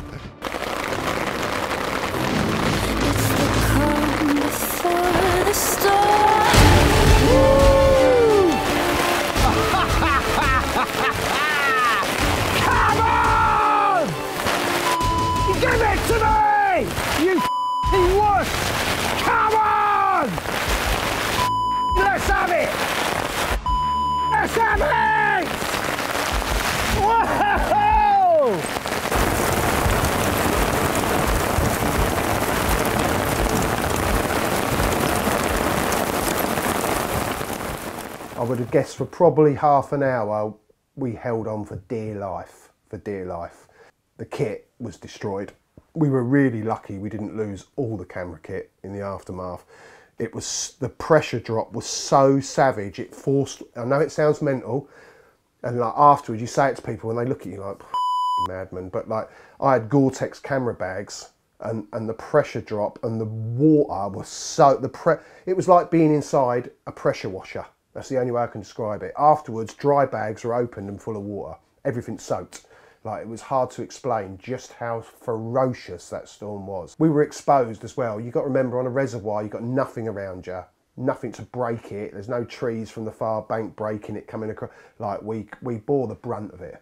Like and we bought, we definitely bore the brunt of it. But all's well that ends well. We survived, and not only did we survive, we caught some amazing carp. So um, you can't be unhappy, can you? Aftermath of that. You are? The aftermath. I don't even know if this camera's working properly, mate. I'm very grateful.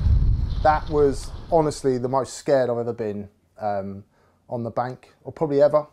uh, Like in terms of like from just from the weather, I don't think the footage like fully sort of uh, does that justice. When the storm was at its worst, obviously there was nothing rolling. We were just hanging on for dear life, like onto everything that we could. I had so much kit with me that I was just concerned about and yeah, I was just trying to hold down my shout. It was buckling around me, and luckily, it was only the one camera that actually ended up getting a little bit damaged and eventually came back to life again. But definitely 110% the most scared I've ever been whilst fishing. Well, this. We've just finally put everything back together because all of that nearly got blown away when all that weather came in. Um, the decent camera, the Sony one, is um, being a bit temperamental at the moment, but that's probably where it got a little bit wet. Nick, looks like you're shivering there, mate. Yeah, I'm shivering. I might as well just lay in the lake, it'd be warmer. Ugh. Mate, I've just had driving hail and 80 mile an hour winds trying to kill me. It's doing like the others. Lets me wind it back 200 yards.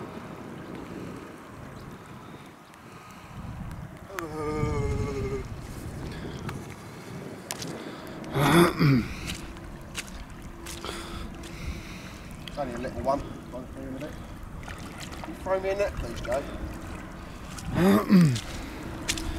One blew down here, mate. That's convenient.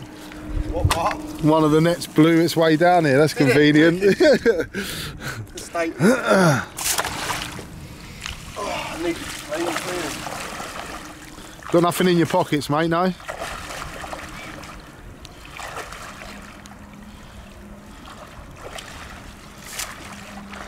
Got more weather coming in, mate. I know. That's what I'm worried about, mate.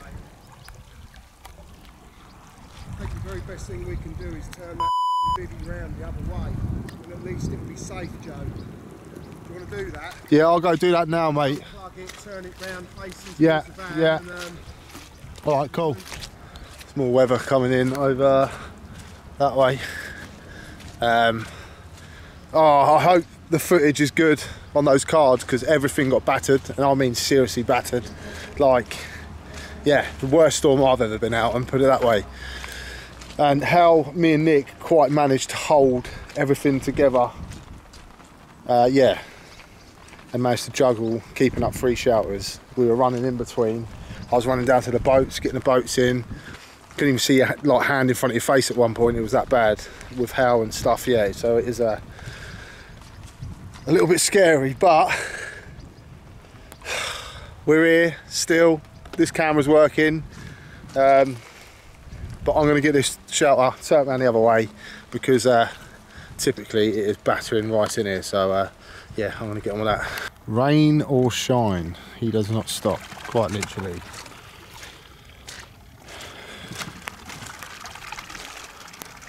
Just nearly died and he's still getting a rod out. Love it. To reposition ourselves slightly.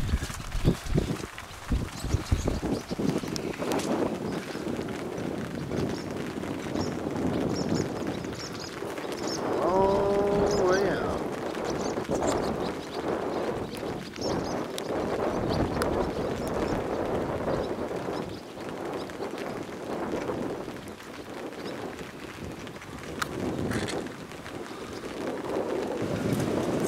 Nothing can kill me. But apart from that, nothing can kill me. Mate, honestly, Woo! it's all that French wine, but this is coming in again now. Yeah, I know, that's why I'm telling this round, because we're smart. It's already been. The next time it'll be gone. You know it, don't you? I wake up in the night, it'll be Nick, Nick. What's the matter, Joe? It's all gone. It's all gone, bro. I'll be like, well, you ain't getting in here with me.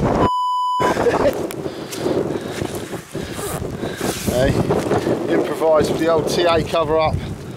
Just keep a bit of rain off of it. It's only the camera kit that I'm worried about. If it starts blowing off, then I'll have to. Uh, yeah, if it starts blowing away again, then I'll have to. Um, to be fair, this is nothing. Like, not even a scratch on what it was like. So I'm sure that'd be more than uh, more than good enough. I'm not even convinced the bread's dry. It's not dry. It's like rubber. I only wanted some bread to dry me hands so I could roll a fag. We've got nothing dry. Like we've literally.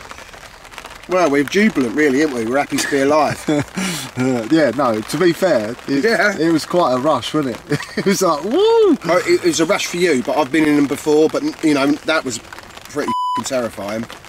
Sorry. Oh, Oh, Joe's got one. No carbs, no carbs. please, please no cut. Mine will go straight away again. You watch. Straight away. Just put a load of cod balls out there. Joe's like, don't go out in that. It's pretty rough, but like, it's gone through the storm now. And you know what's going to happen. It keeps feeling like it's building again, doesn't it? Yeah, well, it, that that that storm was a spiral. It was just like a torn. It sort of hit us and then ebbed away, didn't it? Then hit us again. Hmm. We were really lucky, mate. There'll be lots of people killed in that storm. That was a ferocious beast of a thing. Like the the the hail, I've never seen clear hail.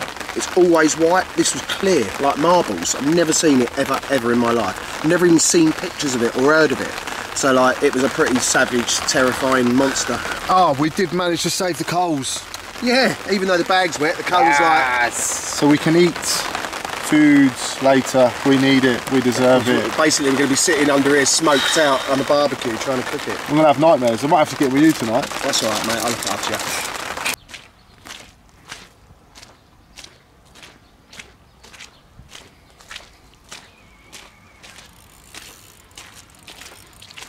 Go. The long wind. One had to go. As soon as the storm passed, I went went out in the big wind after. I knew it'd go. Sure enough, it's gone. and I can't get any wetter. Neither can Joe, so we might as well just uh, keep going. And like all the others, how bizarre is this? Look, you just wind them back. They just come like a dog on a lead until they've had enough, and then they go the other way.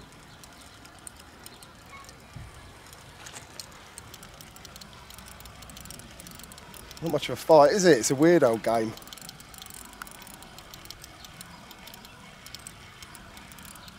Surely it's a roach or something, isn't it? Or a tench.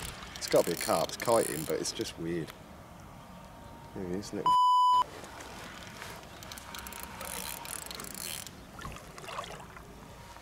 Smallest one, I reckon. Yeah, little tiny thing. How bizarre. Little old common. Here, you mate. Can you hold that? Sorry. I Don't want to get my uh, camera wet, which is in my pocket. My camera is already wet. He's old, mate. He's just tiny.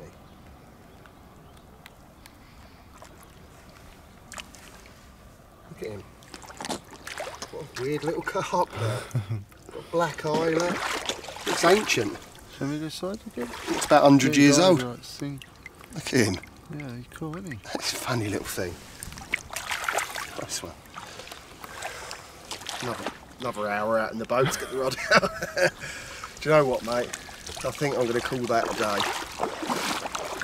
I've had plenty of bites. I think that was number 10 or number 9. But that's, that's good enough for me. What's that? Leaving it. Yeah, mate, I'm done. I've caught enough. My work is done. I'm soaked to the skin. I've got no wet, no dry clothes. I'm shaking. I'm tired. I'm a bit broken, which is rare for me because I'm super. So I'm going to. Uh, I don't know what we're going to have. Something to eat, Joe, haven't we? Fry some food and then uh, drink another bottle of wine and then go to bed. Not together, but we, you know, go to bed. Um, and that's going to be it till tomorrow. And then tomorrow we'll be rejuvenated and back to our super normal selves, and we're off to the next whatever. Where are we going next, Joe? Uh, We're heading, we're heading north. We're heading Yeah. north. Either probably. Small weedy lakes, which made me think, yes, I Yeah, Joe likes that. A bit more England. He's, he's a bit happier. so we're going to uh, either end up on the river, something nice, some nice bit of the River Seine probably, and if not, I've got a few lakes to look at, like on the way home. So, and if they fall through, I've always got a couple of others as well. So. I do uh, do love the fact that an hour ago, hour and a half ago, we were going home. Oh well, everything was done, mate, wasn't it? Everything's soaked, and we've just sort of uh, accepted the fact that everything's soaked. I'm just getting on with it. I've got one rod left out. Um, to be honest with you, I'll probably want that. in. I'm knackered. Times are tough, but our peckers are not down. It just goes to show, doesn't it? Minus 10 to a plus 10 with a little bit of hot food and a bottle of wine. And the world's not so sad. And hot sauce. Oh yeah, we've got some Frank's hot sauce.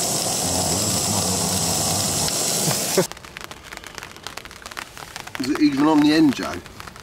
Yes, Well, it, weren't, it weren't in the end, was fell it? off. Never mind, mate. We'll get up in the morning. Tomorrow's another day. Two attempts at landing one of these resi carp, and both have failed miserably. It won't fail tomorrow, mate. You'll have your carp tomorrow, don't worry. Good morning from the battered camp. We are just about to pack up, or start packing up, but Nick wants to get a rod out first. Like I said, no stopping him. Oh, go fishing to France with Nick for a week. They said. Go film him, they said. It'd be fun, they said. Yeah, right. Oh. Bit of a, an eventful night. So um, I actually got two long rods out myself into a, a good zone to catch a couple of fish, and um, Nick reeled these in. Um, yeah, he wanted me to have one, and um, yeah, I've got a take uh, just on last light hook pull. Then I had another one at about half four this morning, and it took me around a buoy, and yeah, I lost that one as well. So not good. I actually, had three bites from here whilst filming with Nick, and I've lost all three of them. But at least he landed these. Um, we're going to pack up and get out of here because it is absolutely bogging.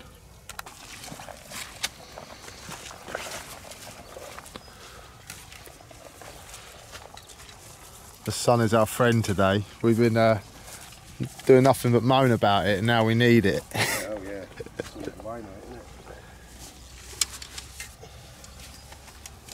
Too much there.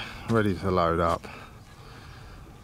Nick's still got one rod fishing, but um, yeah, if nothing happens with that, it'll probably be the last bit of footage of this place. But yeah, what a cool place. I'll definitely be coming back at some point.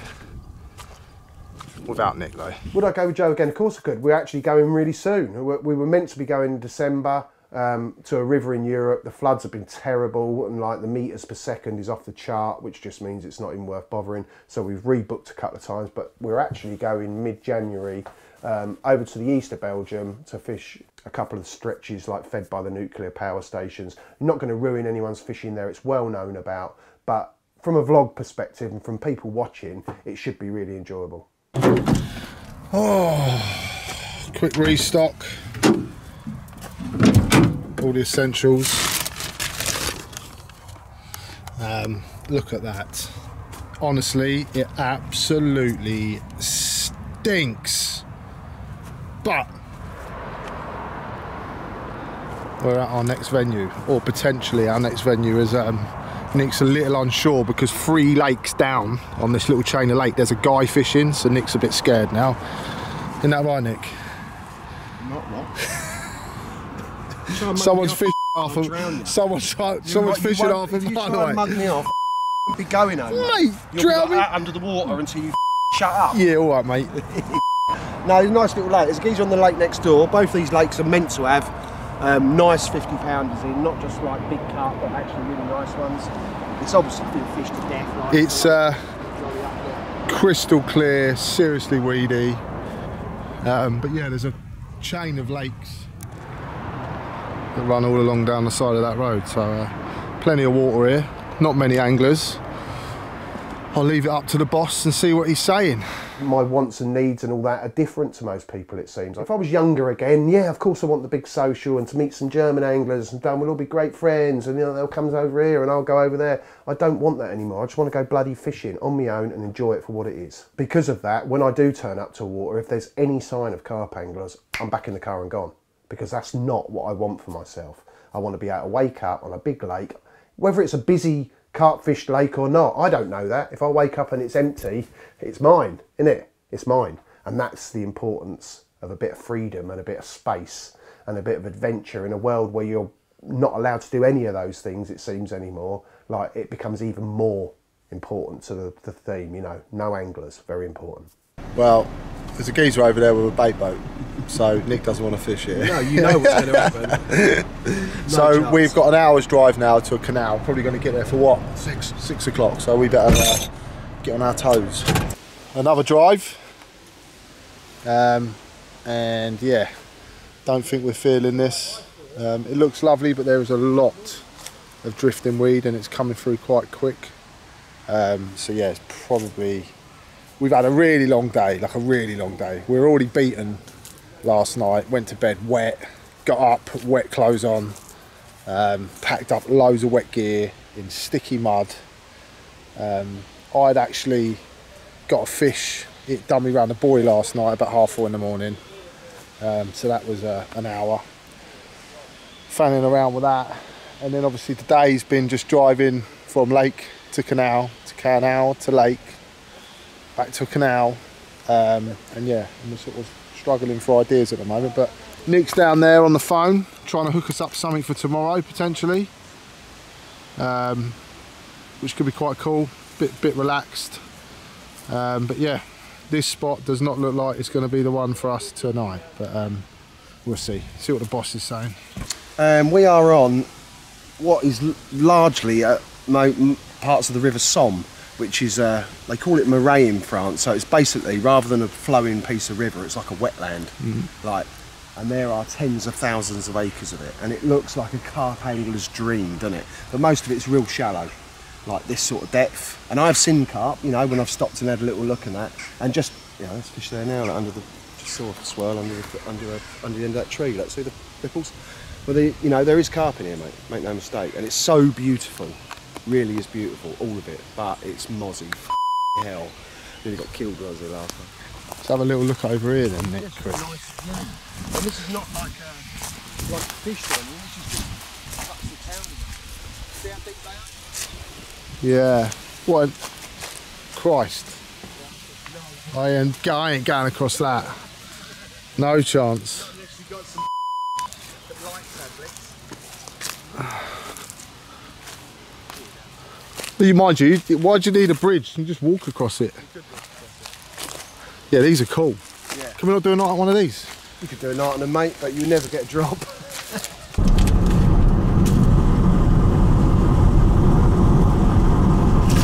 Driving off into the sunset to our next destination. Hopefully, try and get there before it gets dark. What's the chances, Nick? 50-50. For you driving, probably 60-40. Eh? Nothing wrong with my driving, mate. We're here then. Looks good, doesn't it? I think it does. I don't know Wind's if people are ripping in here. that. Look at that. But this is where we're going to spend tonight. Yeah, it's a big pit, but it's looking real good for us. It's blowing right in here. Incredible. I just hope there's no rain coming with it because I'm trying to dry stuff out. But we'll see. Finally, we've settled somewhere. Unloading. It's nearly 10 o'clock. We've not even had any dinner yet. So these will do for now. So good. And he's still going. No rest the wicked. Look, you don't you don't turn up at somewhere like this, rocking the first swim, the wind's smashing in here, it's super mild, and I can smell the on the wind. Do you know what I mean? Like, been to a few places today, but that's the nature of the beast. You know, we went somewhere, bloke there with a bait boat. You know what's coming next, so we're off. Bloke on the other lake next door, too small for us to go on there as well. I just wouldn't, I wouldn't have done that. And um, where did we go after that, Joe? We've been to a few places. haven't We have, mate. a few bits of canal that didn't look the part. There was a lot again, like like the River Yonne the other day. The canal we went to was absolutely through with lots of weed. Um, and yeah, we could have stopped there for the night and a lovely night and a barbecue and a bottle of wine. And it's silent there, apart from the owls and the nightingales. It's magnificent. But it's another waste of another night. And like we haven't got a lot of nights, and we've wasted a couple already, or not wasted. Nothing's ever wasted, but you know we've had a couple of, of uh, quiet nights, places really we shouldn't, maybe shouldn't have stayed or passed on. So Well- you know, gift horse in the mouth sort of thing. using this uh, this wind to my advantage because look it's soaked. Um, yeah just got bits out here drying.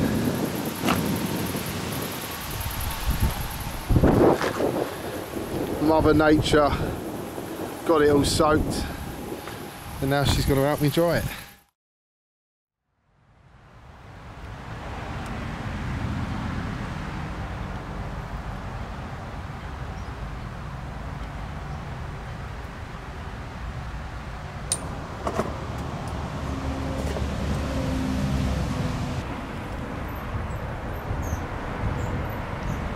great storm of 2022. She's been squeaking ever since the great storm.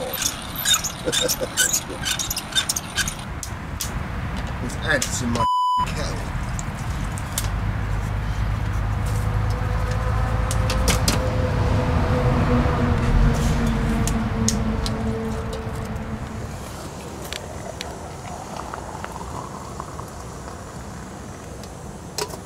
Do you know what? It's such good weather.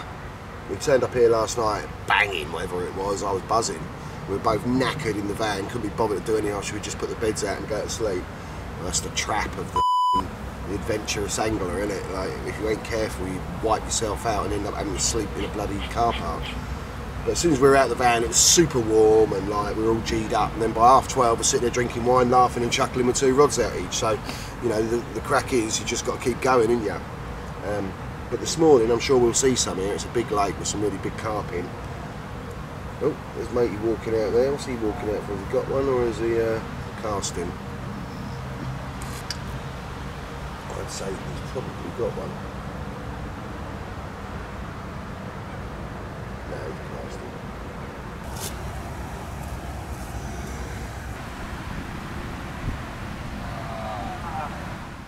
It was a great trip um, and it was lovely, really lovely at the end because we both suffered a bit um, to go to Wesley's and have a few beers and a, you know, a big takeaway from the chip shop and a and a lovely time for a night. We are here. But you can guess where we are. My tackle's destroyed, man. Everything's wet.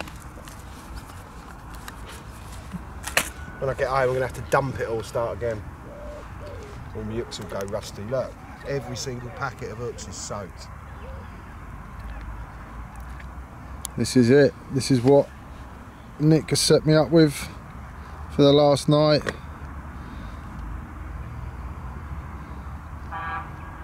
I'm going to actually fish properly tonight. Get the rods out, cock on. Nick's going to tie me a couple of rigs. Win-win. Right, there's my kit. Get it on.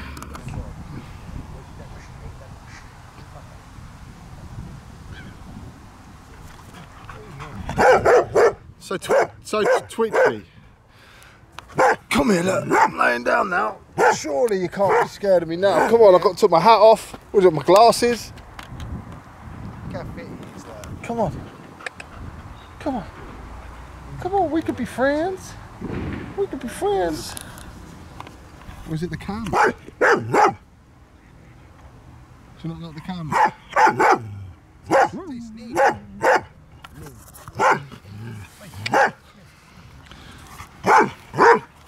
He's going to sneak up behind me and grab me by the grab me by the throat.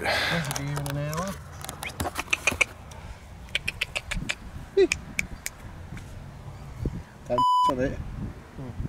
Don't be weeing on it. Come here.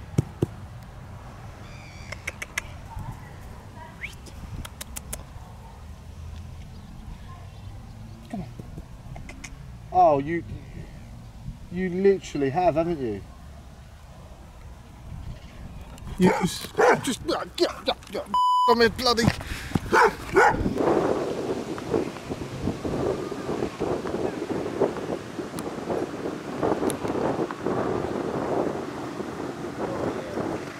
be honest, I don't think I've had a uh, water skiing yet. Well, the balloons are up as well, look. It's going to be one of them evenings. Look at the dog behind you. Looking over the fence.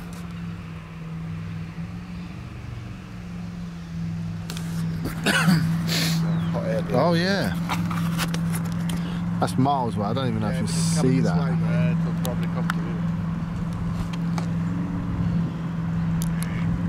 No, it's not really working, is it?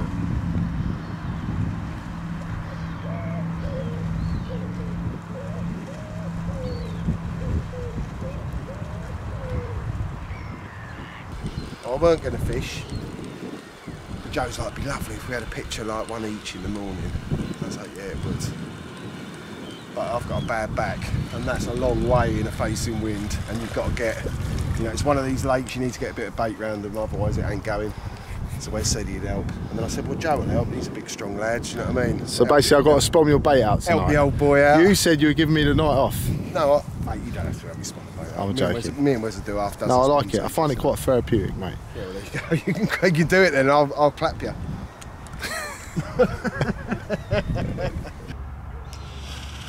Nick has left me here, guarding the gear.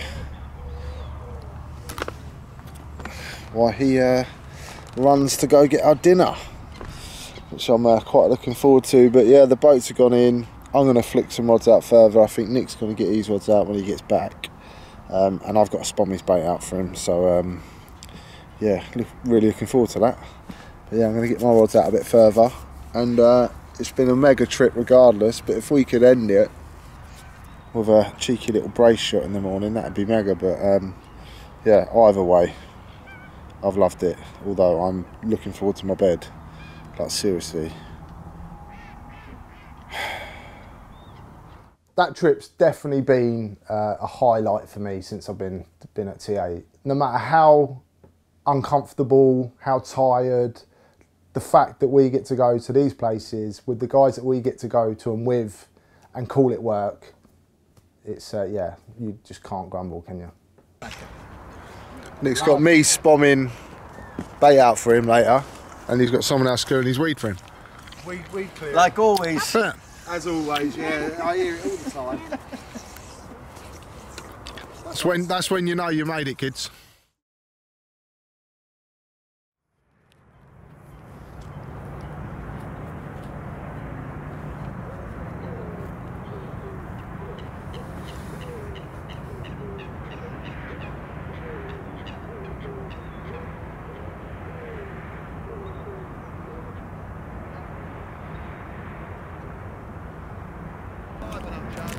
Shut your mouth.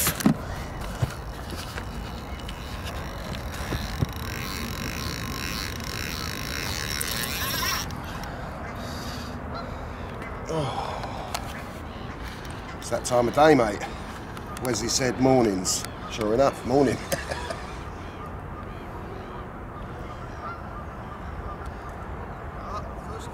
First one, mate. Have a look at that. They're jumping in the swimming pool like mad.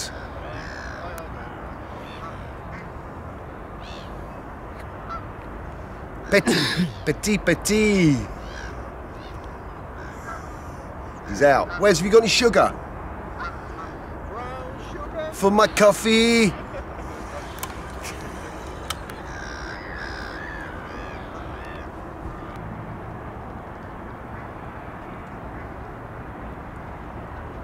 This is the time I have to get the logs into beer.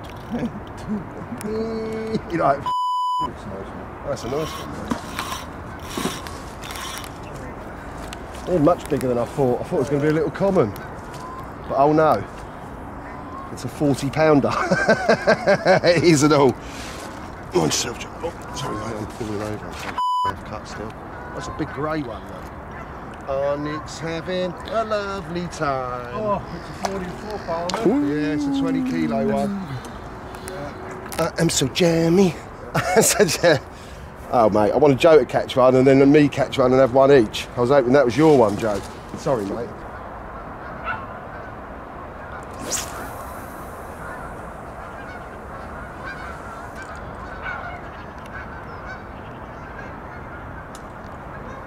You don't get many of them to the pound, me old China.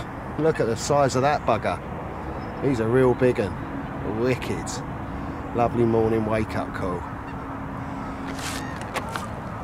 Oh, he's very, very large, isn't he? Ooh, superb. See, it's always on the head 44. 20 kilos. On the nose. On the nose, is it? On the nose. Wicked, 44 pounder, I'll take Yeah, it. On the nose. Nice one, mate. It's always 20, 19.8, Last time I caught 20, it, it was, uh, 20.1. oh, he's such a difficult carp to Yeah, hold. yeah. And he's bang on, bang on 20 kilos, 44 pound. And you've got to be happy with that on the last morning of your trip, ain't ya? Nice one, Wes. Nice one, Joe. mate. I've had a great week. It's been awesome. We've had a load of great carp, some ups, some downs, and some near-death experiences, some drunken nights, and some quiet ones. And there you go. Lovely times. Cheers, fat boy.